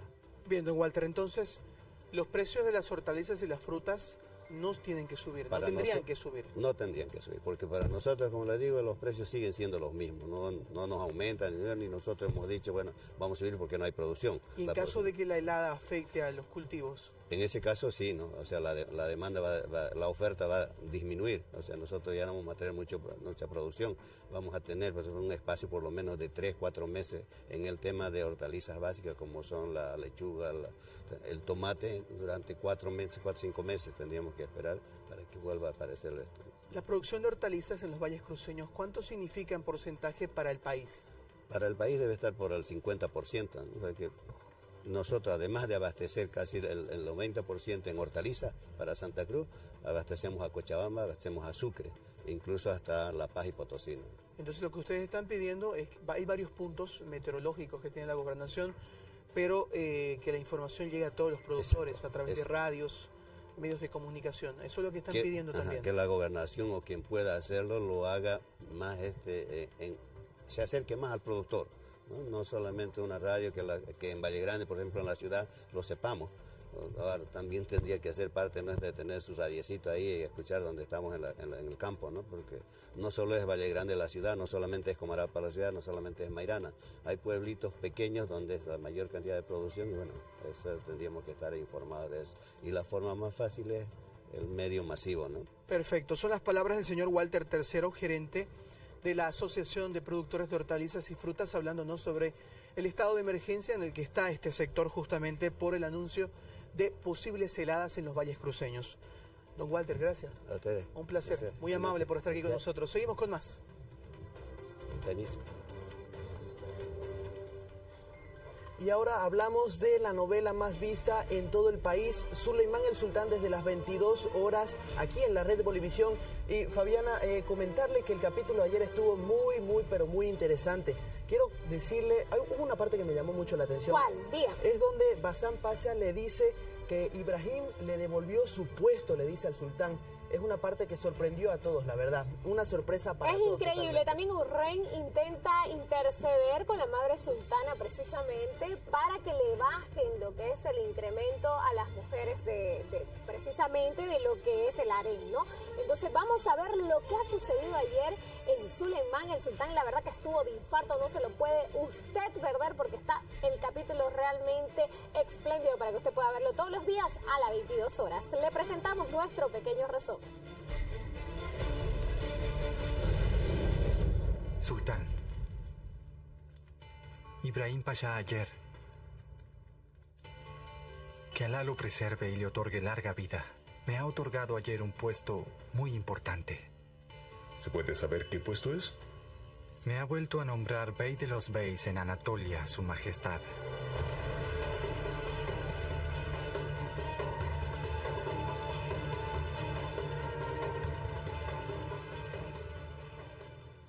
¿Es eso cierto? Sí, Su Majestad. La Madre Sultana les ha dado un aumento.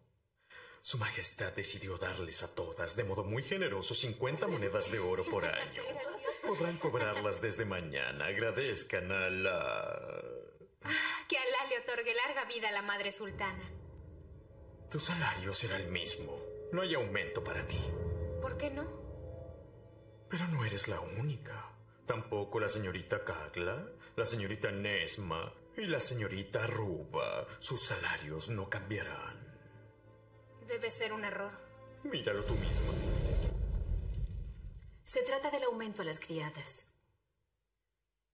Algunas no lo han obtenido aún, Su Majestad, y vinieron a hablarme muy preocupadas. Y me pidieron que les ayudase. ¿Acudieron a ti por ayuda? Es impropio. ¿Por qué pregunta?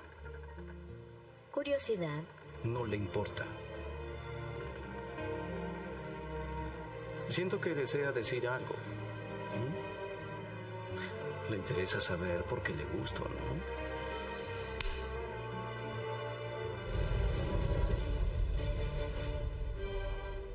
Como decíamos, totalmente imperdible esta novela tan vista en todo Bolivia a las 22 horas por las pantallas de Bolivisión. Pero ¿qué nos depara el capítulo de hoy día, Fabiana? Quiero comentarle que el harén se alborota por la llegada del príncipe Mustafa después de tantos años de su ausencia. Y precisamente Mustafa está que se prepara para recibir, adivine qué, la espada del príncipe del ejército. Usted lo va a conocer aquí en un pequeño avance, solo un pequeñito avance para que hoy esté presente a las 22 horas en Suleimán, el sultán.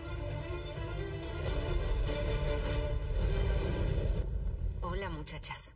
Hace mucho que no la vemos. ¿Se encuentra bien? Estoy bien, gracias. ¿Llegó el príncipe? Claro. Está en sus aposentos. Cuéntenos de él, Gulsa. Dicen que es todo un hombre. Sí, así es. Se ha convertido en un hombre magnífico. ¿Cómo está Mustafa?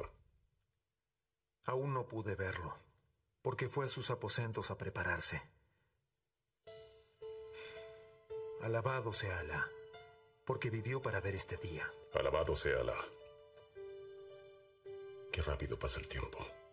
Parece un sueño. Cuando te conocí tenía la edad de Mustafa. Tocabas tu violín bajo un árbol.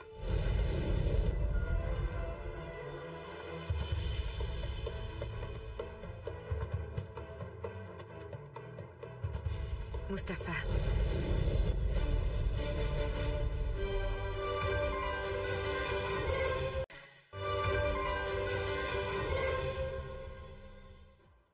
7 de la mañana con 28 minutos. Los invitados que tenemos a continuación se los vamos a presentar. Es un gusto tenerlos porque le vamos a dar también eh, un referente a usted acerca de lo que ha sucedido en esta expedición en el, en el Parque Noel Kempf Mercado. Nos acompaña el señor Johnny Severiche, que es biólogo máster en vida silvestre, y también está Xiomara Zambrana Hoyos, quien es comunicadora del Parque Noel Kempf Mercado. Muchas gracias por venir. Gracias, gracias por recibirnos y eh, darnos este espacio.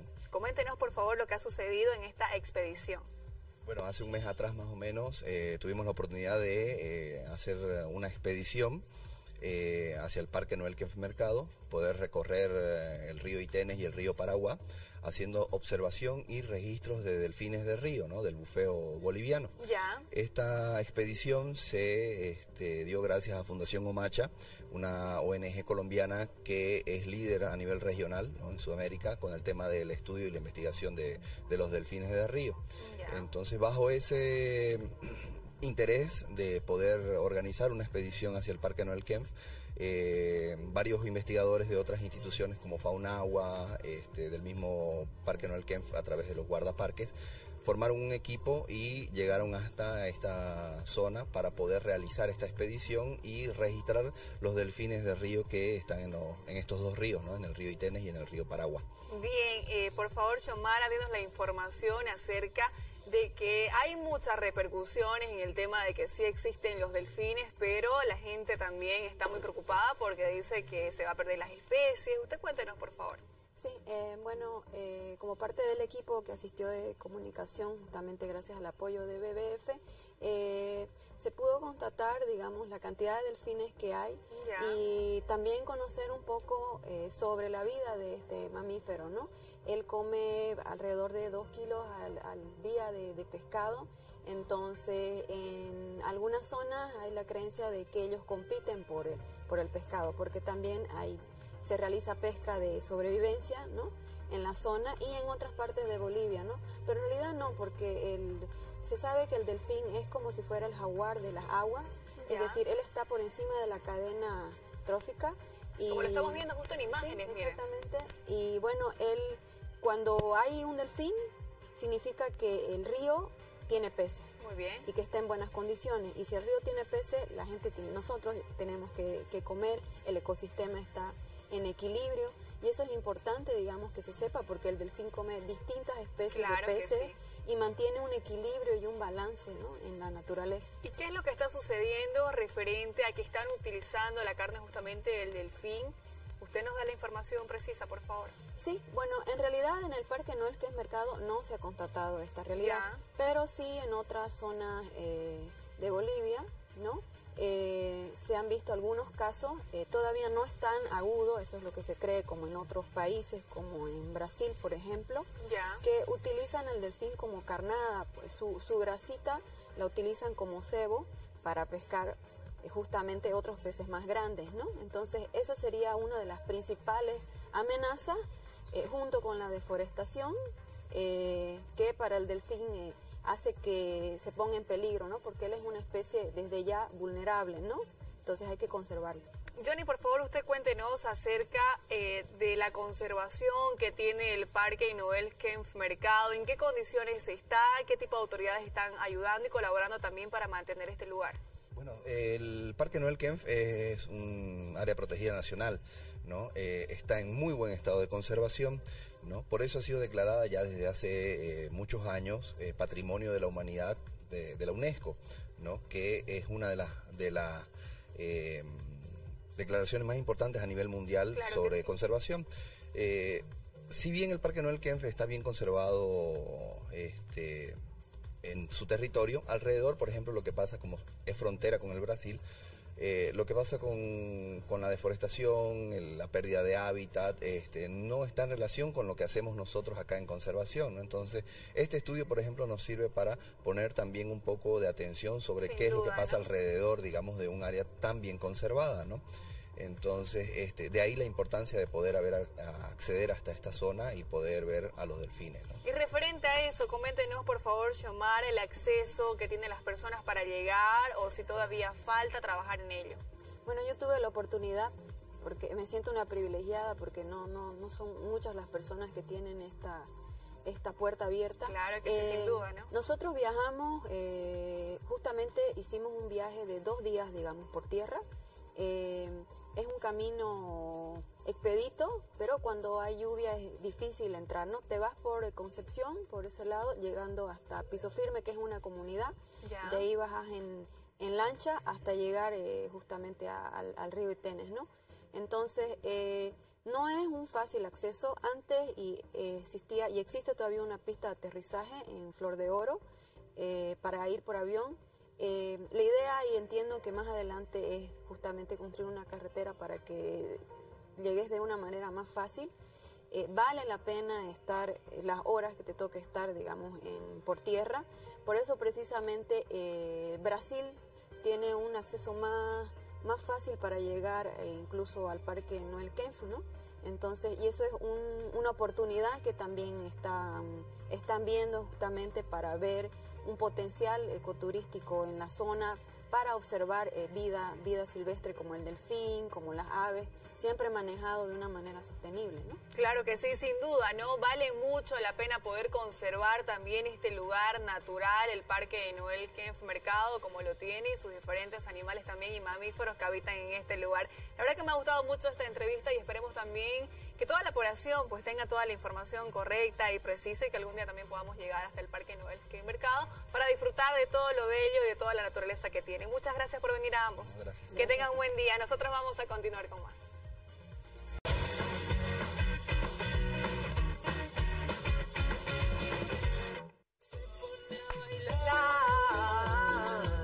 Y con el ritmo que nos caracteriza. Ese es el pasito de Benjamín. Pasito de viejo.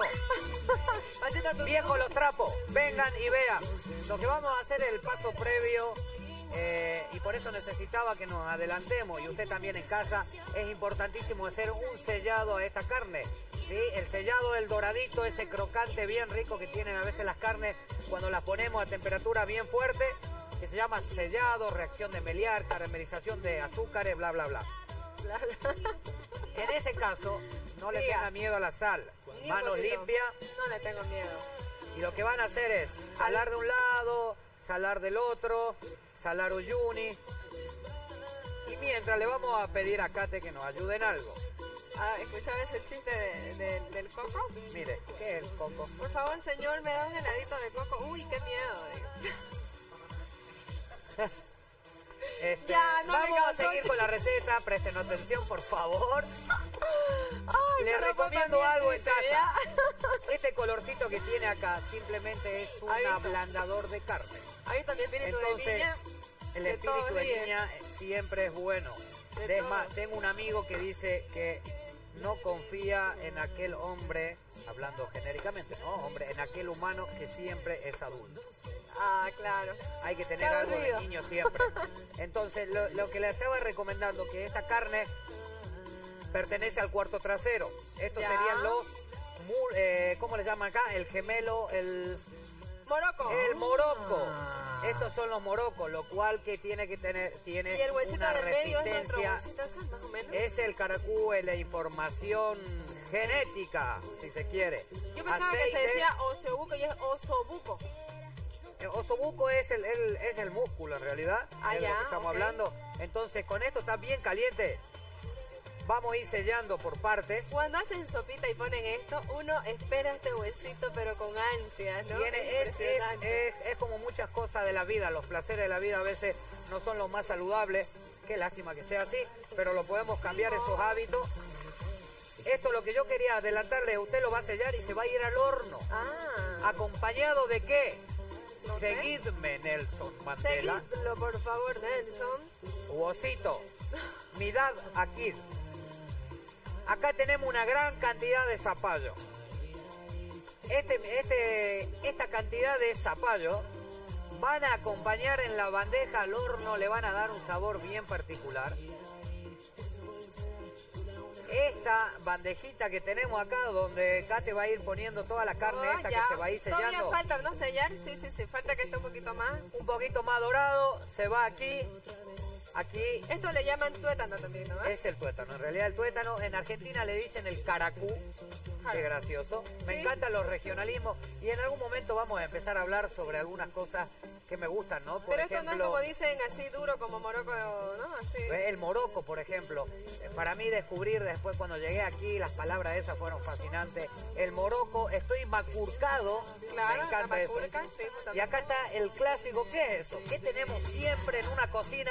¿Qué tiene que haber? Un caldito de verdura. Exactamente, un caldito de vegetales, de verdura, que se puede transformar en la sopa luego. Acuérdense que el origen de todo eso siempre en una, en una sopita. Ese caldito va a servir para sazonar, para dar sabor y juguito a nuestra preparación que ¿Usted va a terminar en horno, ¿Lo, lo va a naturalmente. poner directo así o le va a poner alguna...? No, va directo junto con el zapallo. Vamos a hacer unos brócoli al vaporcito. Entonces va a haber un poco de vegetales que hay que contrarrestar a una carne bien proteica como esta. Delicioso, Así que mientras esto se va sellando, Y acá tenemos mucha cultura de comer carne, ¿no? Hay una Acá- cultura, son hábitos, lo, lo cultural nadie tiene que atacar diciendo lo que está muy mal, sino lo que puede ser diferente. Considero que no... Me encanta su frase es de usted que- así bien. Es que no hay que ser determinante y decir no coma esto señora si no No equilibra. está mal, si no está diferente, señor. Claro, hay que, hay que buscar la- el equilibrio. No son malos los productos, sino son malos los hábitos. Claro, si es constantes, ¿no? continuo, si le comes carne todos los días, digamos, ¿no? Exactamente. Está bien. Mientras esto se va dando su, se- eh, su selladito, le voy enseñando otro truquito por acá con el zapallo que es importante que lo hagamos. Que es, mire, unos cortecitos Transversales. transversales de ambos lados. Bueno.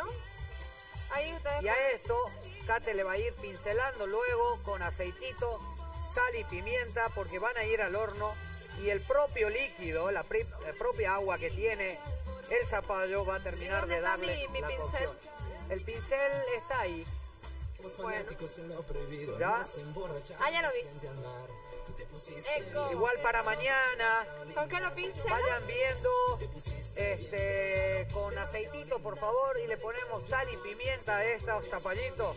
Van a entrar al horno, como les decía, le van a dar un sabor bien particular. Es importantísimo, esto también tiene beta caroteno, tiene un montón de propiedades. Le puedo poner mantequilla igual, ¿no? Me Le puede poner mantequilla, pero es como decíamos, busquemos el equilibrio. Ya tenemos Ya tenemos proteína carne, ya, tenemos un poquito de, de materia grasa ya en la preparación que va a ir al horno con la carne. Entonces, bueno, ahí equilibramos y le ponemos solamente Excelente, no saben de rico que queda esto. Me imagino. Ya se huele en el aire el sellado. Este sellado tiene, tiene una cosa bien particular. Durante mucho tiempo se creía o se consideraba que el sellado o el dorado de la carne este, era simplemente para conservar los jugos y eso no, señora, era un error. En realidad el sellado o la reacción de Meliar que se llama es la caramelización de los azúcares que están presentes en la carne. Muy bien, Sometida a- a temperatura alta le da ese color particular, pero lo más importante del color es- son los valores organolépticos que despiden, que despiertan a uno la necesidad de comer más. Así que con esta información, esos datos, no se mueven, que ya en un ratito, ratito, vuelvo con ustedes.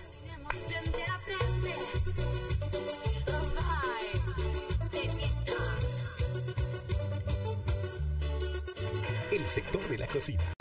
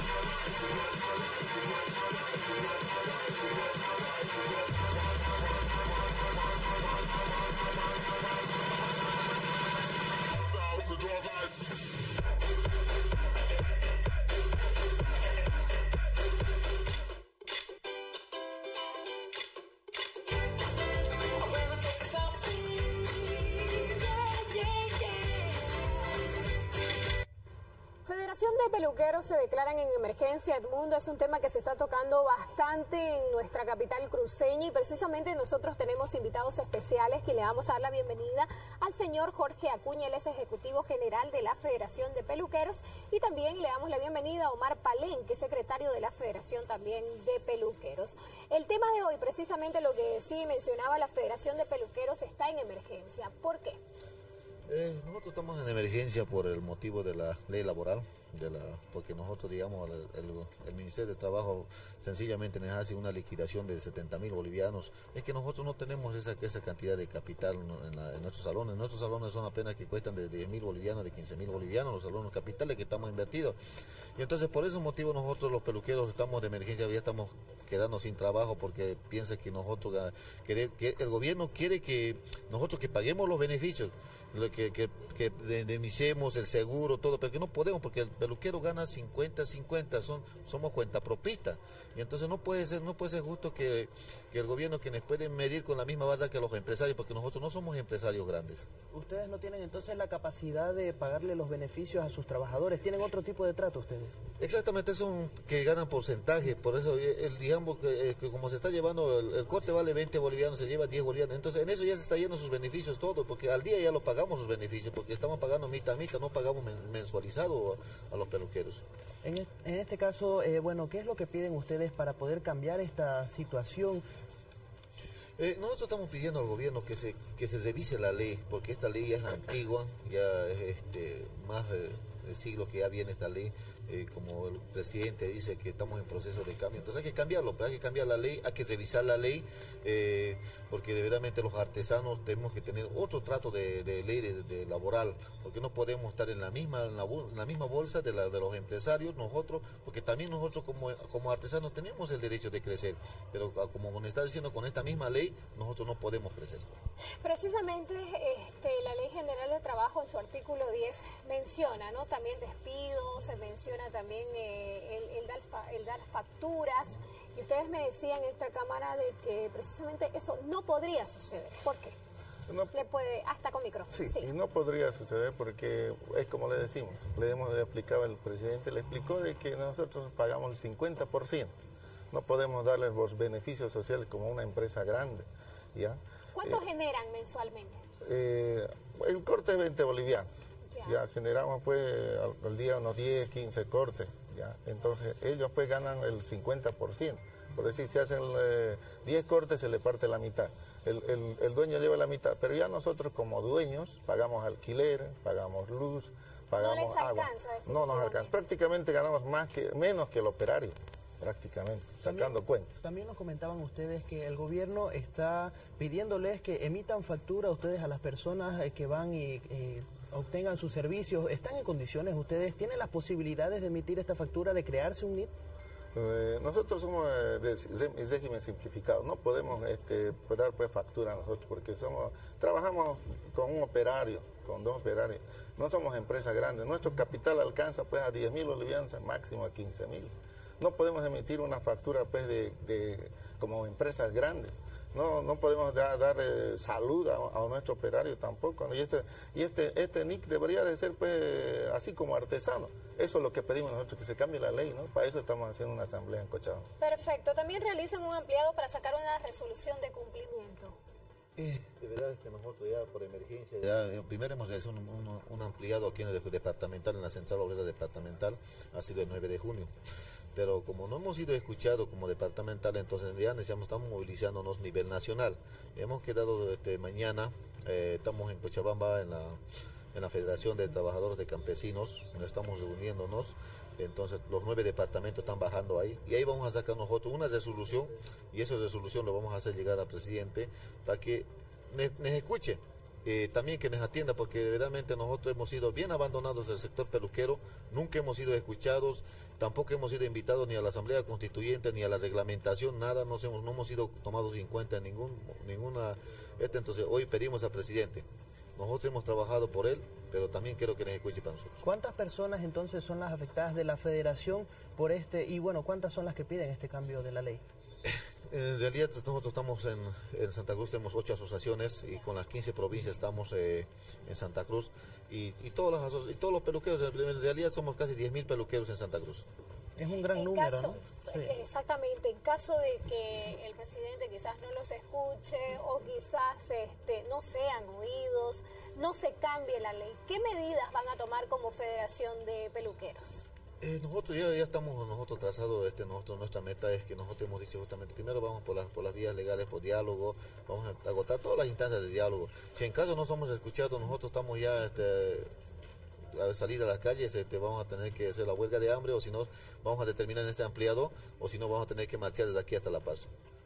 Muy bien, eh, bueno, es eh, importante recalcar que se están en emergencia, eh, los trabajadores no les alcanza, no tanto para pagar a sus trabajadores, para pagar también los ne- las necesidades que tiene su peluquería. Este es el pedido ¿no? que está haciendo el sector eh, peluquero, la Federación de Peluqueros, muy importante, eh, también van a realizar su empleado. ¿Y para cuándo se espera la resolución? Es para, este, para mañana miércoles en Cochabamba. Muy bien, para mañana miércoles, perfecto, muy bien. Muchísimas gracias, don Jorge, muchísimas gracias, don Omar Palenque, que siempre están presentes cuando se los invita en la revista El Día. Y vamos a hacer este seguimiento y vamos a estar nosotros, como la Red Bolivisión, haciendo todo lo que ustedes precisen.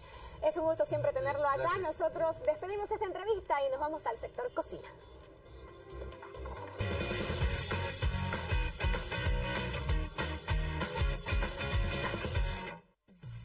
Casi terminado los selladitos, naturalmente estoy haciendo un poquitito, estamos haciendo un poquitito de más para nuestro equipo técnico, audiovisual. Miren, a medida que se va sellando, lo va poniendo en la bandejita rodeado del zapallo. ¿sí? Toscamente, bruscamente,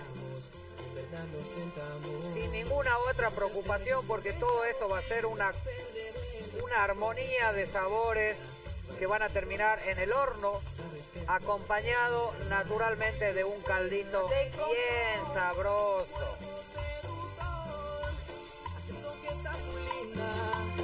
Como sueles estar, Cuenta. pones loquita de noche, te gusta salir con amigas, intentes vaciar Sigo sellando. Ella sigue bailando. Lo sigo sellando. Ella sigue bailando. En el último selladito que van a entrar al horno. Antes, antes, un segundito antes. Mire, este hueso lo voy a mandar ahí. Ese lo va a dejar hervir acá. Lo va, este va a ser Ay, va a quedar con un sabor un deli. Entonces, selladito, verduritas al horno, que eso no es todo, porque paralelamente vamos a lavar y vamos a cocinar tiernamente los brócolis para saltearlo con una mantequilla y terminar bien sabroso, nutritivo. Es importante que Deli. tengamos estos valores dentro de nuestra preparación de hoy, como también las arvejitas, que ahora mismo, junto con ustedes, vamos. Ay, ya. A la cuenta de tres. Allá se fueron. Lluvia de arvejas a la 7 olla. y 52. Nos queda todavía una hora de muchísimo por seguir mostrándole aquí. No se vayan que luego seguimos. Aquí está la cocina divertida. Eso, venga. Vas a volverte atrevida, dejar de ser la inofensiva. Parte de la culpa fue mía, que nos gustemos los dos. Tú me volviste.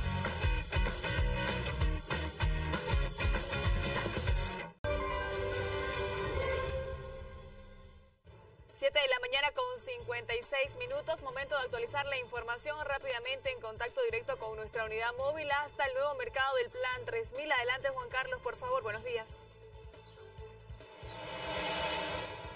¿Cómo está Nicole? Buenos días, así es, nos encontramos aquí en el nuevo mercado donde ya a esta hora de la mañana ya se comienzan a realizar los trabajos como todos los días. Quiero mostrarle por este lado, por favor, este es el segundo bloque, pero quiero mostrarle por ese lado se está realizando el enlocetado de la parte de atrás de este mercado y este segundo sector que es el sector el que habría sido este, eh, intervenido y presentado porque no contaban, según expertos entendidos en el área, con las columnas necesarias para soportar este tipo de infraestructuras. Entonces fue paralizado totalmente e intervenida esta obra. Se han realizado la construcción de nuevas columnas en esta obra para que puedan eh, soportar toda la infraestructura y toda la construcción. A esta hora de la mañana podemos observar que ya se está preparando la gente, continúan los trabajos, se está preparando ya los diferentes obreros para realizar eh, los trabajos en el transcurso de todo el día. Ellos entran a las 8 de la mañana.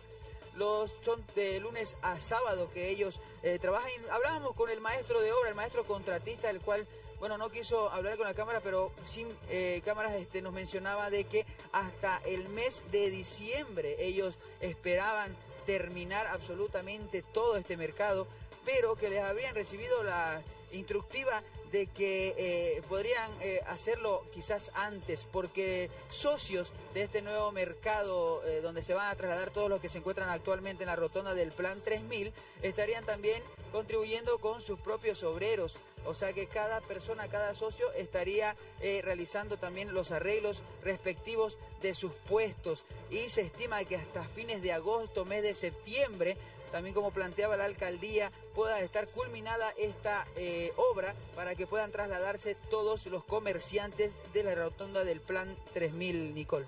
Muchas gracias Juan Carlos por la información en directo y es así de esta manera que como todos los días comienzan los trabajos y avanzan también a lo que va a ser este nuevo mercado del Plan 3000. Hasta un próximo contacto, que tengan un buen día, nosotros vamos a continuar con más. Muy bien, y precisamente sobre este tema seguimos hablando porque el municipio tiene planificado en el próximo mes de agosto el traslado de los comerciantes a este nuevo mercado del Plan 3000 o el mercado de los cañaverales. Nos acompañan aquí varios comerciantes quienes vienen a hacer diferentes denuncias. Yo comienzo con el señor Seferino Solís. Don Seferino, usted veía los trabajos de construcción que ya están ultimando detalles para el traslado de los comerciantes. Usted denuncia que esta obra está mal construida.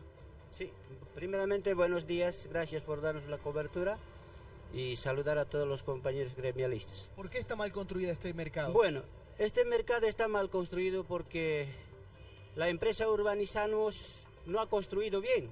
Hay 120 columnas que están observadas por perito forense de IDIT que, tenía, que no han cumplido con las normas bolivianas que es con la estructura metálica. ¿ya? Y ahora, a causa de eso, ha tenido esa observación donde tenía que ser demolido, inclusamente del 8 al 12, los blocos del 8 al 12, pero sin obedecer, sin ninguna garantía, sin ninguna autorización.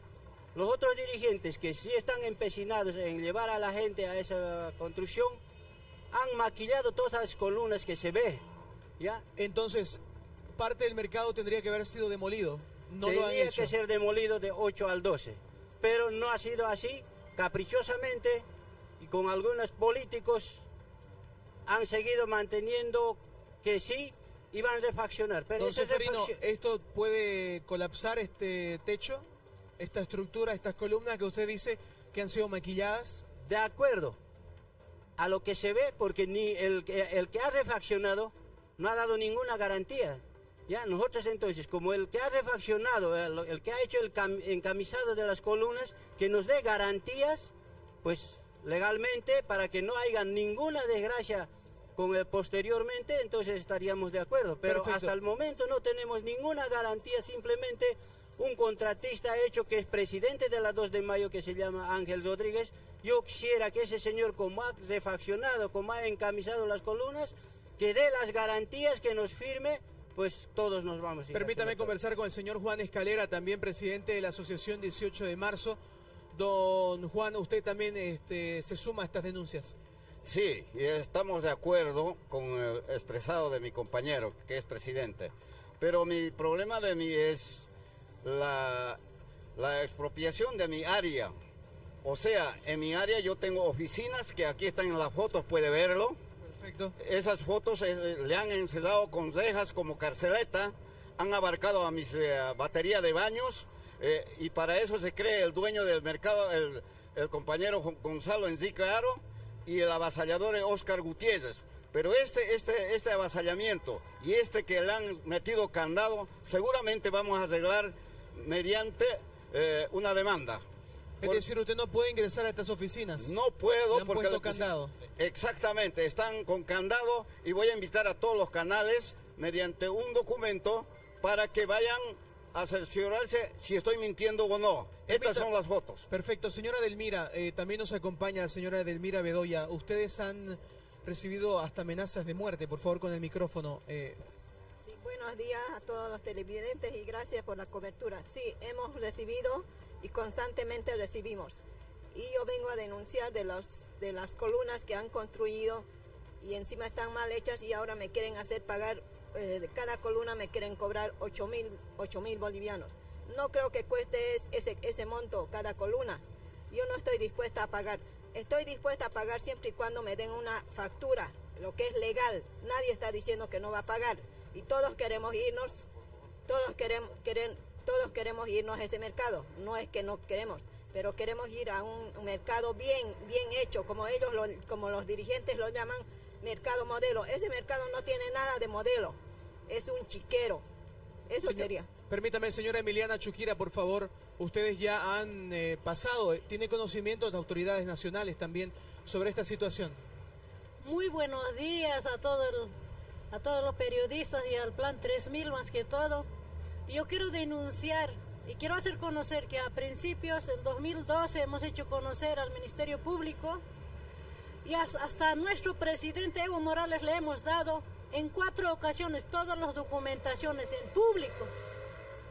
Y también este último, a la interpelación hemos ido a La Paz, también se ha entregado las documentaciones ¿Qué a García? Linera. ¿Y qué respuesta han tenido por parte de las autoridades?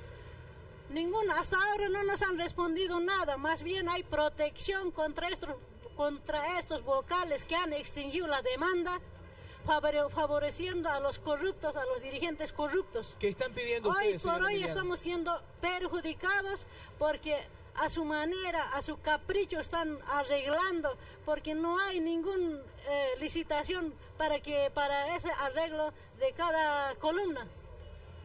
Bien, permítame por favor conversar con el abogado Miguel Droguet, que nos acompaña aquí también. Está llevando a cabo un proceso. ¿Cómo anda el proceso sobre este tema? Muy buenos días eh, a toda la audiencia de Bolivisión. Bueno, al respecto, queremos indicar que sí, evidentemente ha salido la imputación ah, por parte del Ministerio Público en contra de los vocales Cifrido, Soleto, Gualoa y Hugo Iquice Saca, quienes eh, eh, han eh, cometido el delito de prevaricato. Eso, ese es el delito por el cual imputa el Ministerio Público a estas dos personas. Evidentemente, tras la lucha que ha hecho el Ministerio, pu- eh, la, la gente gremialista, es que ahora se ha logrado la imputación. ¿Hasta dónde quieren llegar con el tema de justicia con estas dos No- personas? nosotros que se- queremos hacer un llamado al ministro de Justicia, queremos hacer un llamado al doctor Héctor Arce Saconeta, que tenga conocimiento del proteccionismo que tienen estas, estos vocales, que en su condición, aprovechándose de su condición, han logrado que se rechace la primera imputación por parte de la señora, la doctora Albaña Caballero. En fecha 12 de agosto. Es así que ahora se ha logrado la imputación. Estamos a día y hora y fecha para que nos dé la autoridad jurisdiccional para la audiencia de medidas cautelares, la imputación.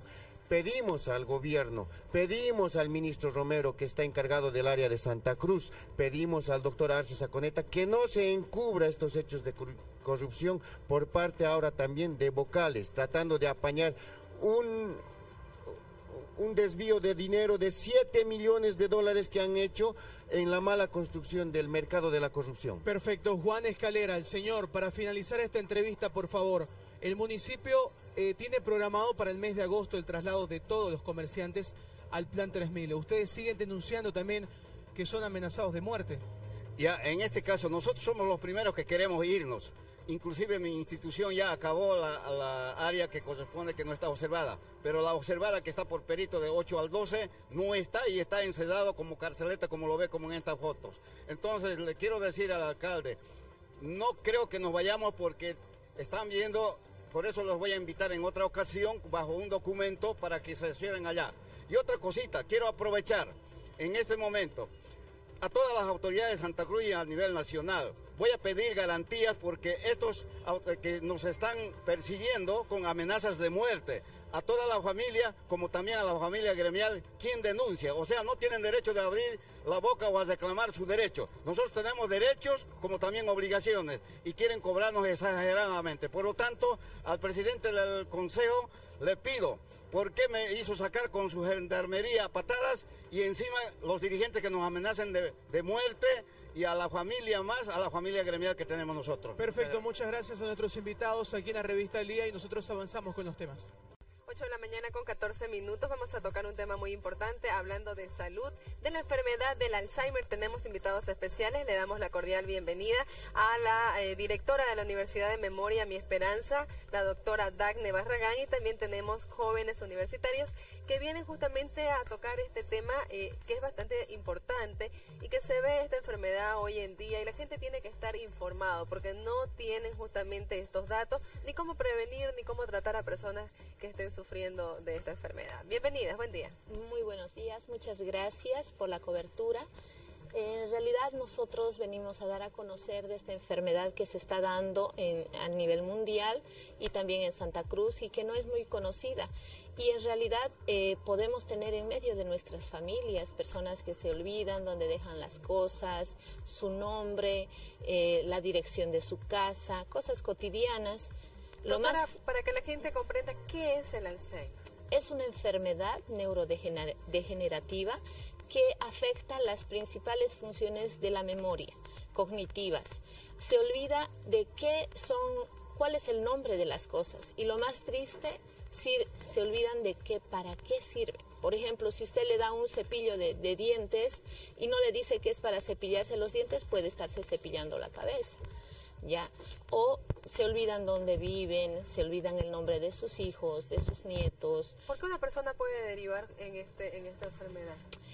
Eh, se deben a muchas causas. Una de ellas es que no se estimula la memoria. No hay un estímulo adecuado. Una persona que tiene una depresión crónica puede iniciar con un Alzheimer. Ya generalmente se presentan en mujeres con mayor frecuencia. Ya también los. qué edad? Lo que hemos visto en nuestra unidad de memoria son personas mayores de 60 años, pero no quiere decir que las personas jóvenes estén libres de tener este problema. Si las personas entran en un momento de sedentarismo en su vida, no hacen actividad física, no estudian o no están leyendo, no tienen un entorno social con el que se puedan interrelacionar, entonces se puede presentar esta enfermedad. Entonces puede eh, justamente tratarse antes con ejercicios mentales, ¿Cuáles son las, actividades que se tienen que hacer? En realidad son fortalecer tres áreas, el área física, que siempre estemos en constante ejercicio, la parte social y la parte intelectual. La parte social, tener un entorno con el que puedan interrelacionarse. Generalmente las personas que son jubiladas, después de tener un tiempo eh, de laboral muy activo, entran en la jubilación y entran en una depresión y esas personas ya no se arreglan, ya no se cambian, ya no salen, pierden el interés en la gente, entran en un periodo depresivo crónico y pues pueden estarse eh, entrando en una gran enfermedad que es el Alzheimer y que... ¿Tiene algo que ver también con el tema de la alimentación, con el tema de las vitaminas? Sí, se puede dar eh, suplementos nutricionales, también se da medicación, para eso están los médicos psiquiatras, que son los especialistas. A propósito, el doctor Wilber Ayala es el fundador de las unidades de memoria Alzheimer Santa Cruz y yo soy la directora de lo que es la unidad de memoria Mi Esperanza. Así es. Y justamente hablando como fundación, me imagino que muchas familias en este momento se sienten identificadas de haber pasado eh, esto con alguien querido, con un familiar y miembro de la casa y no sabe dónde dirigirse, no sabe qué hacer, no tiene información de esta enfermedad y es por eso que ustedes como centro de apoyo y fundación es que vienen a explicarle a la gente que, que tienen esta información y que pueden formar parte de este grupo. Necesitan ayuda además. Buen día. Buenos días. Eh, sí, nosotros somos estudiantes de la Universidad de Gabriel René Moreno, de la carrera de Medicina, y nosotros vimos este desinterés que hay en la sociedad, que no hay conocimiento acerca de lo que es esta enfermedad. Entonces, precisamente por eso contactamos a la directora de la Unidad de Memoria Mercemer, Mi Esperanza, del Alzheimer Santa Cruz, y quisimos que nos informe acerca de esta enfermedad para poder así transmitir a todas las personas de que esta realmente es una enfermedad muy importante. ¿Dónde está la fundación? Eh, en realidad no es una fundación, es una unidad donde se reúnen en hay en cuatro lugares en Santa Cruz, pero la unidad de memoria Mi Esperanza está en la Santos Dumont, entre sexto y séptimo anillo, en la urbanización Guadalupe. Eh, sí, ¿Qué, necesita la persona que tiene que dirigirse? ¿Qué va a encontrar?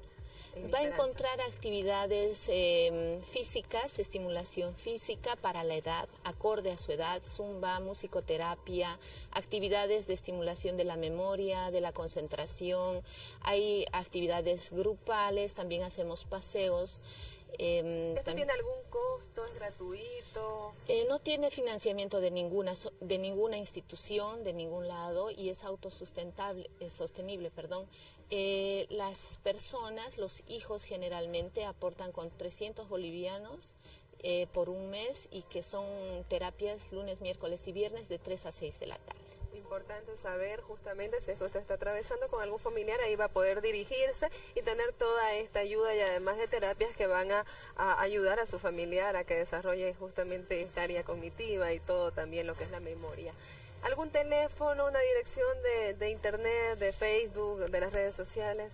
Eh, la página es Alzheimer Santa Cruz Mi Esperanza, pueden darle me gusta y el teléfono fijo 352-8182 y el celular 756-1712. Muchísimas gracias, doctora, por estar con nosotros. A ustedes también eh, por esta investigación. Hemos aprendido un poco y ya saben que hay lugares también que están trabajando para las personas que sufren del Alzheimer. Gracias por estar con nosotros. Muchas gracias. Continuamos con la revista El Día.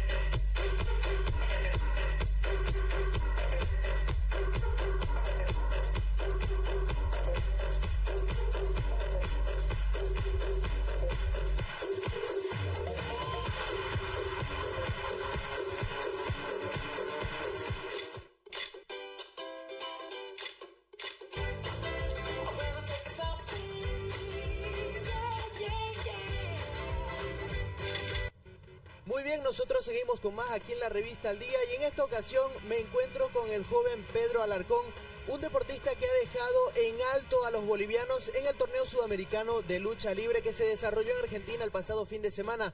¿Cómo está, joven? ¿Cómo le va? Y también estamos con su padre, Pedro Alarcón, también el mismo nombre, padre e hijo. Y bueno, como les decía, un joven, un deportista que se ha esmerado y ha conseguido dos premios muy importantes. Medalla de oro de primer lugar para eh, ser luchador eh, libre, ¿no? Eh, ¿Cómo se desarrolló este torneo en el que, en el que participaste? el torneo fue un sudamericano. Fue un sudamericano que es, es, de toda América y vinieron hartos varios países a participar. ¿Contra cuántos participaste, competiste? Eh, contra, contra tres. Perú, eh, Guatemala y, Brasil. ¿Fue ahí donde conseguiste la medalla de oro? Sí. También tenés un premio que es el tercer lugar en lucha greco-romana, ¿no? Sí. ¿Cómo eh, se desarrolla esta disciplina? Greco, la lucha en general se divide en, en dos estilos. En greco, que es de la, de la cintura para arriba, y libre, en donde es todo el cuerpo y puedes meter zancadilla y todo eso. Y bueno, conseguiste el tercer lugar. Sí. Sí, este, ¿hubo alguna complicación? ¿Cómo fue el torneo?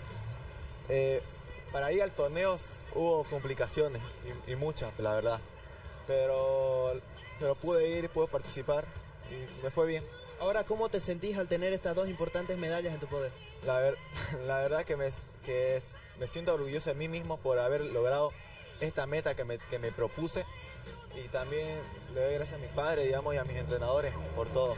Muy bien, con solo 16 años ya ha viajado a Argentina, ha conseguido estas dos importantes medallas que tiene aquí. Esta es la medalla de oro y la medalla de bronce, ¿no? Sí, muy bien. ¿Cómo se desarrolló tu entrenamiento? ¿Tu papá, no? ¿También te ayuda mucho? A ver, podemos conversar con usted, don Pedro. ¿Cómo es que usted lo ayuda a su hijo en su capacitación, en su entrenamiento? Buenos días. Bueno, este, la verdad que el- mi hijo estuvo en un constante proceso de entrenamiento. En el mes de enero estuvo un mes entrenando en, en Perú. Luego en el mes de abril pa- participó en un campamento de entrenamiento en Nueva York. Y en el transcurso de la tarde estuvo entrenándolo el atleta que es uno de los eh, eh, de la lucha boliviana, Marvin Chávez, y el profesor Leslie Galarza, eh, supervisado por Jill Marlino.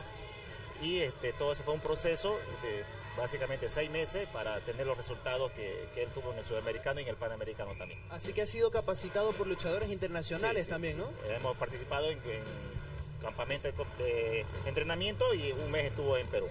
El proyecto que tengo con mi hijo es prepararlo para futuros torneos internacionales y al- pienso, eh, si eh, consigo los fondos, mandarlo a Cuba eh, un mes por lo menos en, en las próximas vacaciones finales de- del año. ¿no? Muy bien, bueno, las expectativas que se tienen a futuro son muy grandes, continuar en este torneo. Ahí veíamos también las fotos de cuando le entregaban las medallas ya en el podio después de los torneos. Muchas felicidades, Pedro, seguir adelante, siempre dándolo todo en este deporte que ahora se ha convertido en tu pasión, ¿no? Muchas gracias por estar aquí, a su padre también, que sigan adelante y nosotros vamos a continuar con más aquí en la revista Al Día de Bolivisión.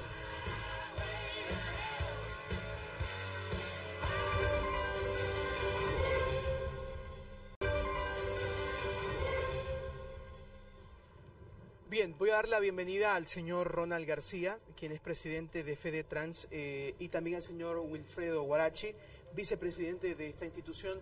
Y es que eh, el transporte pesado de áridos se encuentra en emergencia. Y don Ronald, buenos días, usted nos explica el porqué.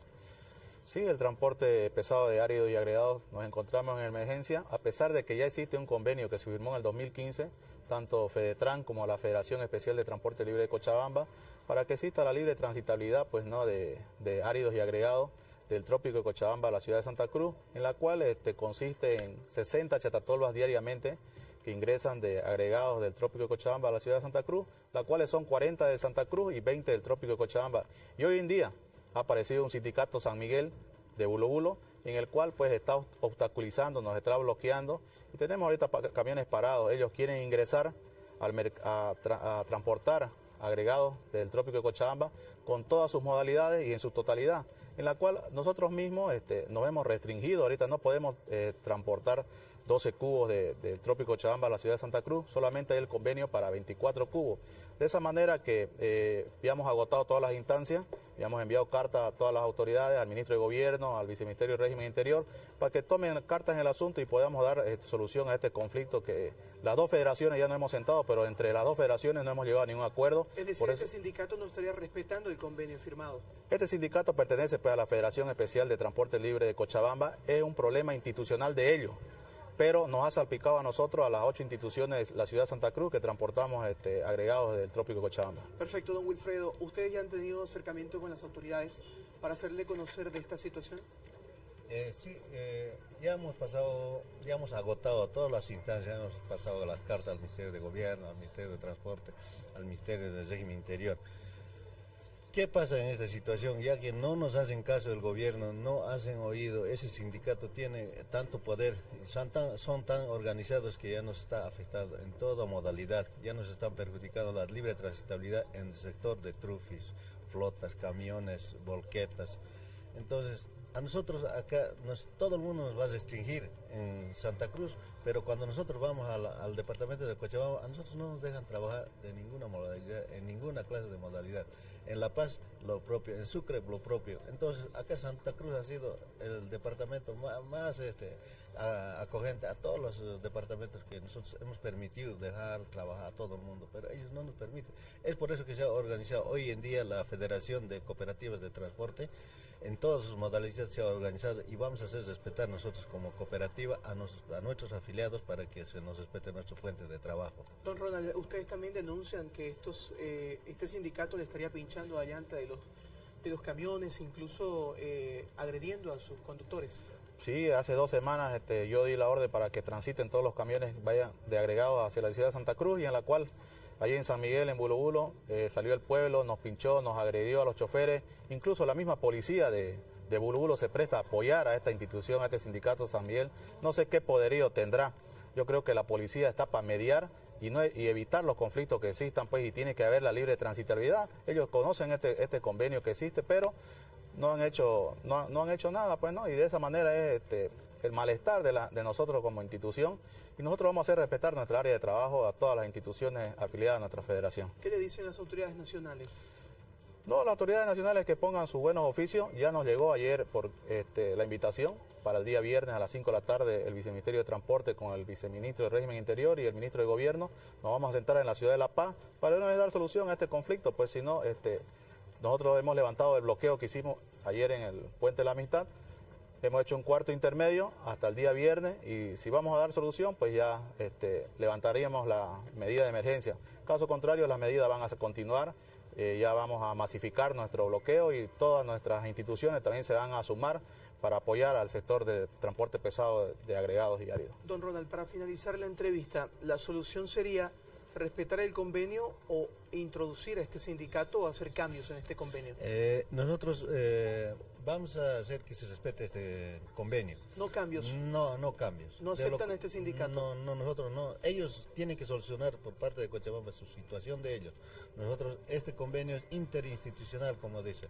Nosotros, nuestros departamentos vamos a solucionar, nuestra federación como asociados a nuestras cooperativas, vamos a respetar a nuestros eh, a sus afiliados. Ellos tienen que solucionar su problema en el trópico. Y este, este, este problema está salpicando el problema del trópico hacia Santa Cruz porque no nos dejan circular, como ya lo he dicho, está afectando a nuestros afiliados de Santa Cruz. No, eh, este, ellos deberían de solucionar su problema en Cochabamba. Entonces, eso, si no dan de solución ellos, o el ministro de Gobierno, o el ministro de Transporte, nosotros entraríamos, como le dijimos, ya en bloqueo eh, indefinido acá en Santa Cruz. Perfecto, ambos invitados, al señor Ronald García y al señor Wilfredo Guarachi también de FedEx eh, les agradecemos por estar aquí con nosotros y hacer de conocimiento público esta situación que vive el sector. Una pausa, en realidad avanzamos con los temas aquí en la revista El Día. Gracias por acompañarnos. Desde Exteriores queremos comentarles y hablar de festejos porque la Fuerza Especial de Lucha contra el Narcotráfico el día lunes estará de aniversario, cumple 30 años y el coronel Claure nos va a contar todos los detalles porque la idea es hacer la invitación para que usted también participe de estas actividades. Buenos días. Muy buenos días, muy agradecidos por la cobertura. Eh, queremos eh, hacer una extensiva invitación a toda la ciudadanía acá de Santa Cruz para el día lunes 24 eh, de julio donde vamos a tener nuestro acto central con la presencia de autoridades nacionales, también autoridades locales, eh, cuerpo consular y también evidentemente van a estar presentes todas las unidades especializadas de la Fuerza Especial de Lucha contra el Narcotráfico a nivel nacional. ¿no? vamos a tener el, desfile y por supuesto queremos mostrar a la ciudadanía eh, todo esta, este, este grupo humano que permanentemente a nivel Bolivia está luchando con el tema del combatir contra las drogas. Y justamente, nosotros también destacamos como medio de comunicación la labor que ustedes realizan a diario. Hemos visto también bastante avance en diferentes operativos que se han realizado en los colegios y también eso es digno de destacar. Sí, evidentemente la Fuerza Especial de Lucha contra el Narcotráfico está conformada por diferentes eh, unidades. Como ustedes pueden apreciar, tenemos acá una unidad canina, por ejemplo, ¿no? de K9, que evidentemente se encarga de hacer el control en los diferentes aeropuertos a nivel de todo lo que es Bolivia. Tenemos otro funcionario policial que trabaja en el grupo de investigación de sustancias químicas, que es responsable del control químico antinarcóticos, especialmente en los laboratorios y fábricas. Tenemos otro de nuestros funcionarios que también es de la UMOPAR, de la Unidad Móvil de Patrullaje Rural, que están ellos diseminados en todo el territorio nacional, en zonas eh, rurales. Y como estos hay muchos más grupos especializados que evidentemente el día lunes van a estar presentes. Y a nombre de nuestro director, el coronel Santiago Delgadillo Villalpando, Eh, como miembros de la Policía Boliviana, quiero hacerles la invitación extensiva y quisiéramos que nos acompañen para compartir este momento y también escuchar de los resultados y de todo el trabajo que hemos venido realizando durante toda esta gestión a nivel nacional. Claro que sí, sin duda, es un gran trabajo que ellos realizan y queremos conversar con algunos efectivos también para que nos comenten. Me imagino que muy orgulloso también de representar y de realizar este trabajo a diario. Así es, como usted dice, es un gran placer trabajar para la sociedad, eh, también ayudar a la juventud para que no eh, se, se meta más en las drogas, ¿no? Ayudar más que todo que la sociedad, la juventud salga adelante sin drogas.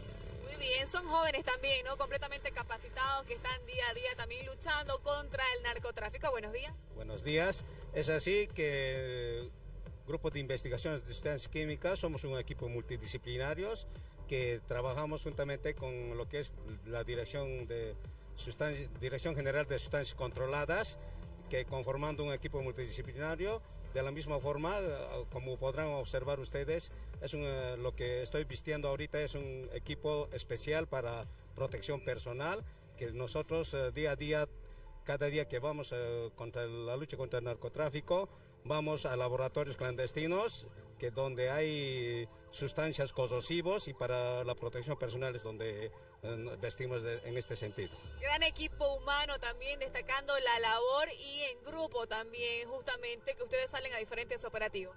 Es así, bueno, día a día nosotros estamos luchando contra el narcotráfico para poder eh, hacer también la parte preventiva y hacer de que haya cero droga en todo nuestro territorio nacional. Muy bien, quiero agradecerles a todos por su visita y especialmente también como la Red Bolivisión felicitar a la Fuerza Especial de Lucha contra el Narcotráfico que cumple 30 años y que el día lunes estará de aniversario festejando también con todos los ciudadanos. Sí, muchas gracias nuevamente. Eh, esperamos contar también con la presencia de Bolivisión allá en el Camódromo, en lo que es el cuarto y quinto anillo el día lunes. Y por supuesto, gracias por eh, permitirnos esta, dar esta cobertura y invitar nuevamente a la ciudadanía que nos acompañe porque como policía boliviana pues se sabe que siempre nos debemos a los jóvenes, a los niños y estamos luchando en contra de las drogas. Sin duda, muchas gracias, Coronel Claudia, por acompañarnos. Un gusto tenerlos a todos. Nosotros vamos a continuar con más del programa.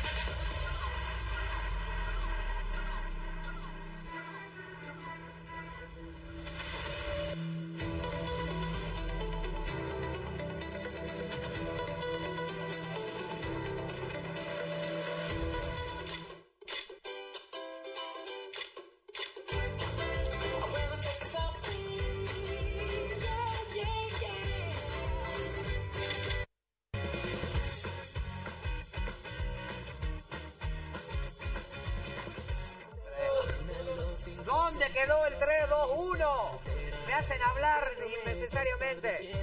Yo sé que no es bueno, pero la gente tiene que aprender a través de, de ciertas cosas. Edmundo, nuestro compañero, con toda la voluntad del mundo, Aquí yo. solo le pedí que me traiga un pan y los tiró por todos lados, a todos lados. Mira, No, fue sin querer, fue sin querer, perdóname, por seguidme favor. otra vez. Seguidlo otra vez. Acá lentamente estamos con nuestra... música, por favor, así como de su beso. Ta, ta, ta, tan, ahí. Allá van. Huele delicioso eso, ya me Todavía dio deseo. falta. Le falta. Le ¿Cuánto falta, lo falta? que falta. Pasame el mundo sin romper Sin nada, tumbar, por por favor. favor. Un palito de brochet. Ya.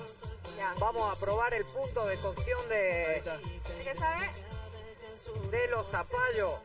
Fíjense. Mire que lo último que miraba en los ahorita. ¿Y cómo, cómo sabe cuál es el punto exacto de cocción? porque tiene que estar bien tiernito. Entonces vamos con el tiempo ideal.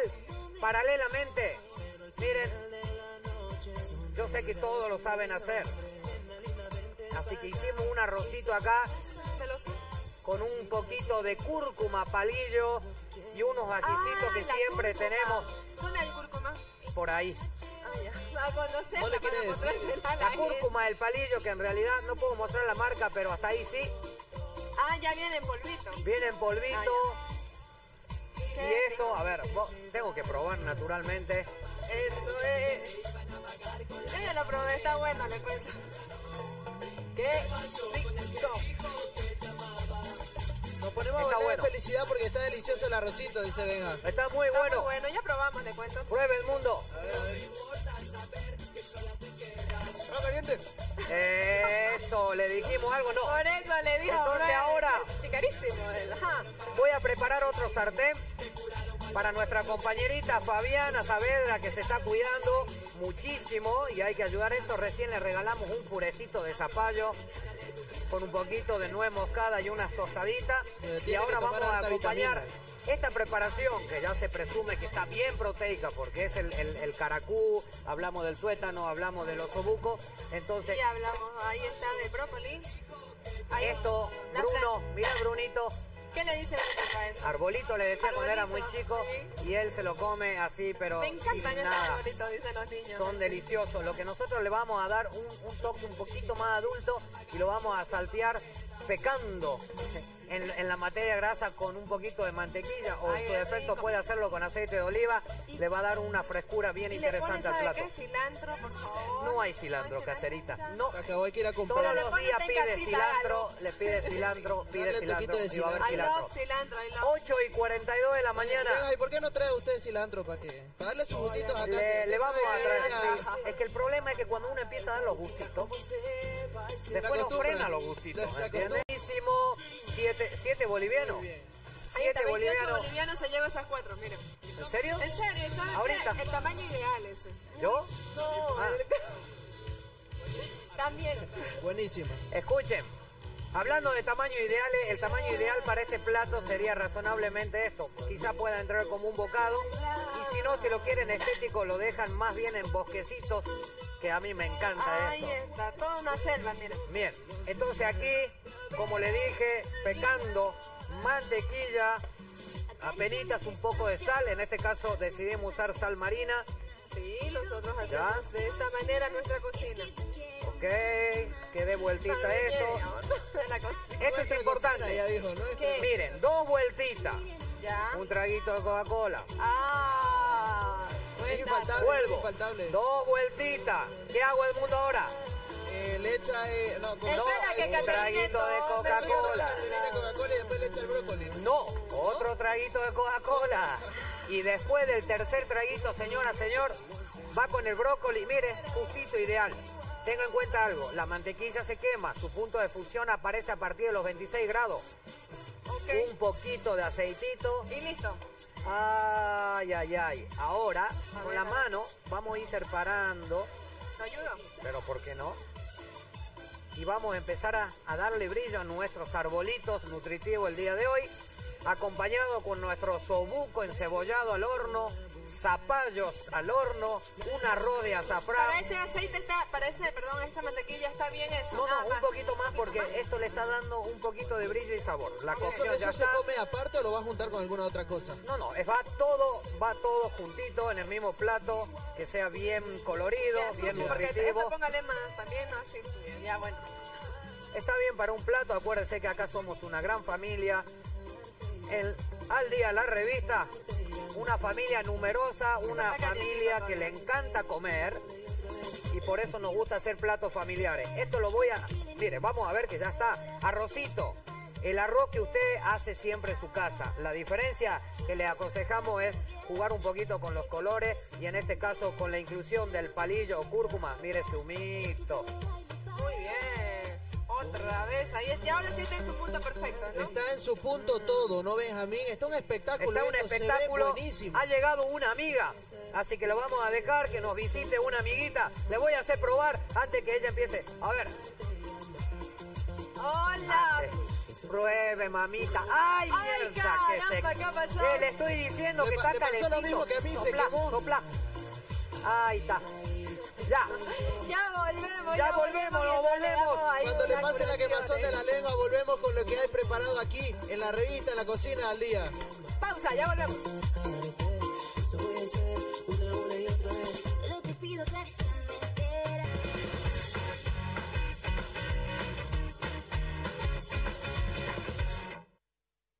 Continuamos con más en la revista al día. Tenemos invitados especiales. Le vamos a dar la bienvenida al señor Ángel José Torres, el presidente del Comité de Departamental de Defensa de Ropa de Medio Uso. Bienvenido a la revista al día. El micrófono, por favor. En esta ocasión vamos a hablar de un tema muy importante sobre la defensa de comerciantes de la ropa usada. ¿Qué ha pasado?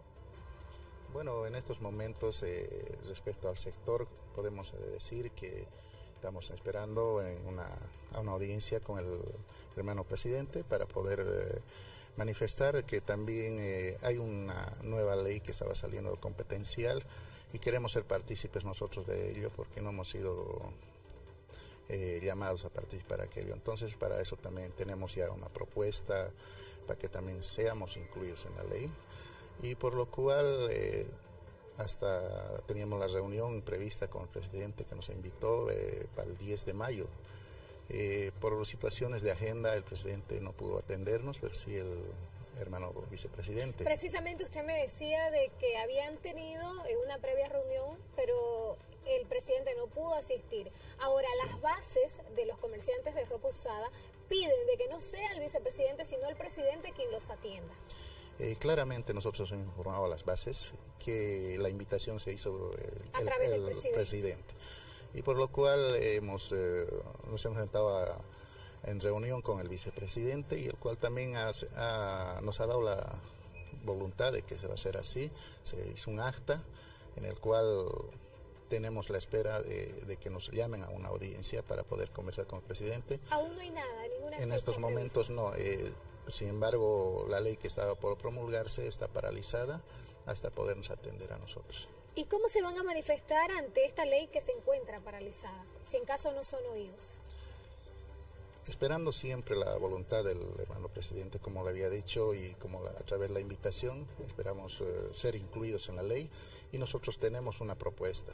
Y entonces eso vamos a hacerlo conocer eh, para que también, eh, de acuerdo a aquello, veamos la situación que eso nos da. Pero por el momento estamos en espera y esperando sacar una buena conclusión de esta audiencia que podamos tener. Señor Ángel, para que la gente lo entienda, ¿qué es lo que dice esta ley? ¿Qué manifiesta? eh, manifiesta que se da competencias a los municipios para la regulación de, de comercialización de prendas a medio uso eh, en toda su extensión, ¿no? no solamente la ropa americana, entonces eh, para todo artículo a medio uso. Entonces eh, tiene que haber una regulación de parte de los municipios ya. Y a través de aquello es como el municipio pueda tomar acciones en, en- todas las diferentes ferias que nosotros estamos, ¿no? Entonces le dan atribuciones al municipio. Esperemos que pronto se pueda arreglar esta situación en la defensa de comerciantes. En cuanto a la ropa de medio uso, es un gusto tenerlo acá siempre en la revista al día. por la invitación. A usted, muchísimas gracias. Nosotros nos vamos a ir una breve pausa, pero cuando retornemos estamos con más en la revista al día.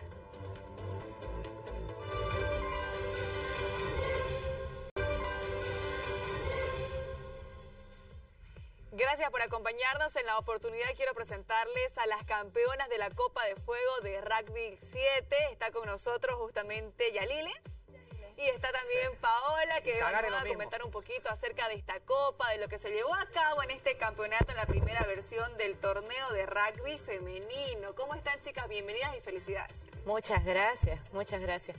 Bueno, este sábado tuvimos la primera versión del torneo de Rugby 7 femenino Copa de Fuego. Es un torneo que nosotros estamos planeando hacerlo de manera anual. Qué bueno. Lo hemos hecho el 15 de julio porque eh, julio es el mes aniversario del rugby femenino en Bolivia. Ya. Nosotros hemos cumplido el 9, 8 años eh, desde el nuestro primer entrenamiento. Ya sea el primer club de rugby femenino en Bolivia, entonces eh, nuestro aniversario es el aniversario nacional. Qué bueno, ya son muchas las chicas que se están animando también a realizar este deporte, bien es un deporte de contacto, pero que también ustedes van a aprender muchas cosas, entre ellas a valorar también mucho la amistad, Yarile. Así es, este, buenos días y muchas gracias por permitirnos estar acá. y bueno, de que puedan conocer un poco más lo que es el rugby. Claro que sí. Eh, bueno, personalmente a mí eh, me gustaba mucho el fútbol y cuando conocí el rugby me enamoré de verdad. Y bueno, invitar ¿no? este, a las chicas que se animen, porque no solamente es un deporte ¿no? que vas, y, sino también vos conoces eh, una familia. Y Claro, porque se juega en equipo, Sí, ¿no? en equipo y, y es algo muy hermoso que compartimos y bueno, el, lo más bonito es el tercer tiempo, después de, después de jugar es lo máximo. Felicitamos entonces al Club Genecherú que se ha llevado en esta oportunidad el campeonato de la primera versión del torneo de rugby 7 femenino. Así que sigan adelante, todo el apoyo de siempre y cuando quieran son muy bienvenidas a la revista al día. Perfecto, muchísimas gracias. Muy bien, muchas felicidades entonces. Usted también que está en casa y es mujer, anímese a jugar rugby. Nosotros continuamos con más.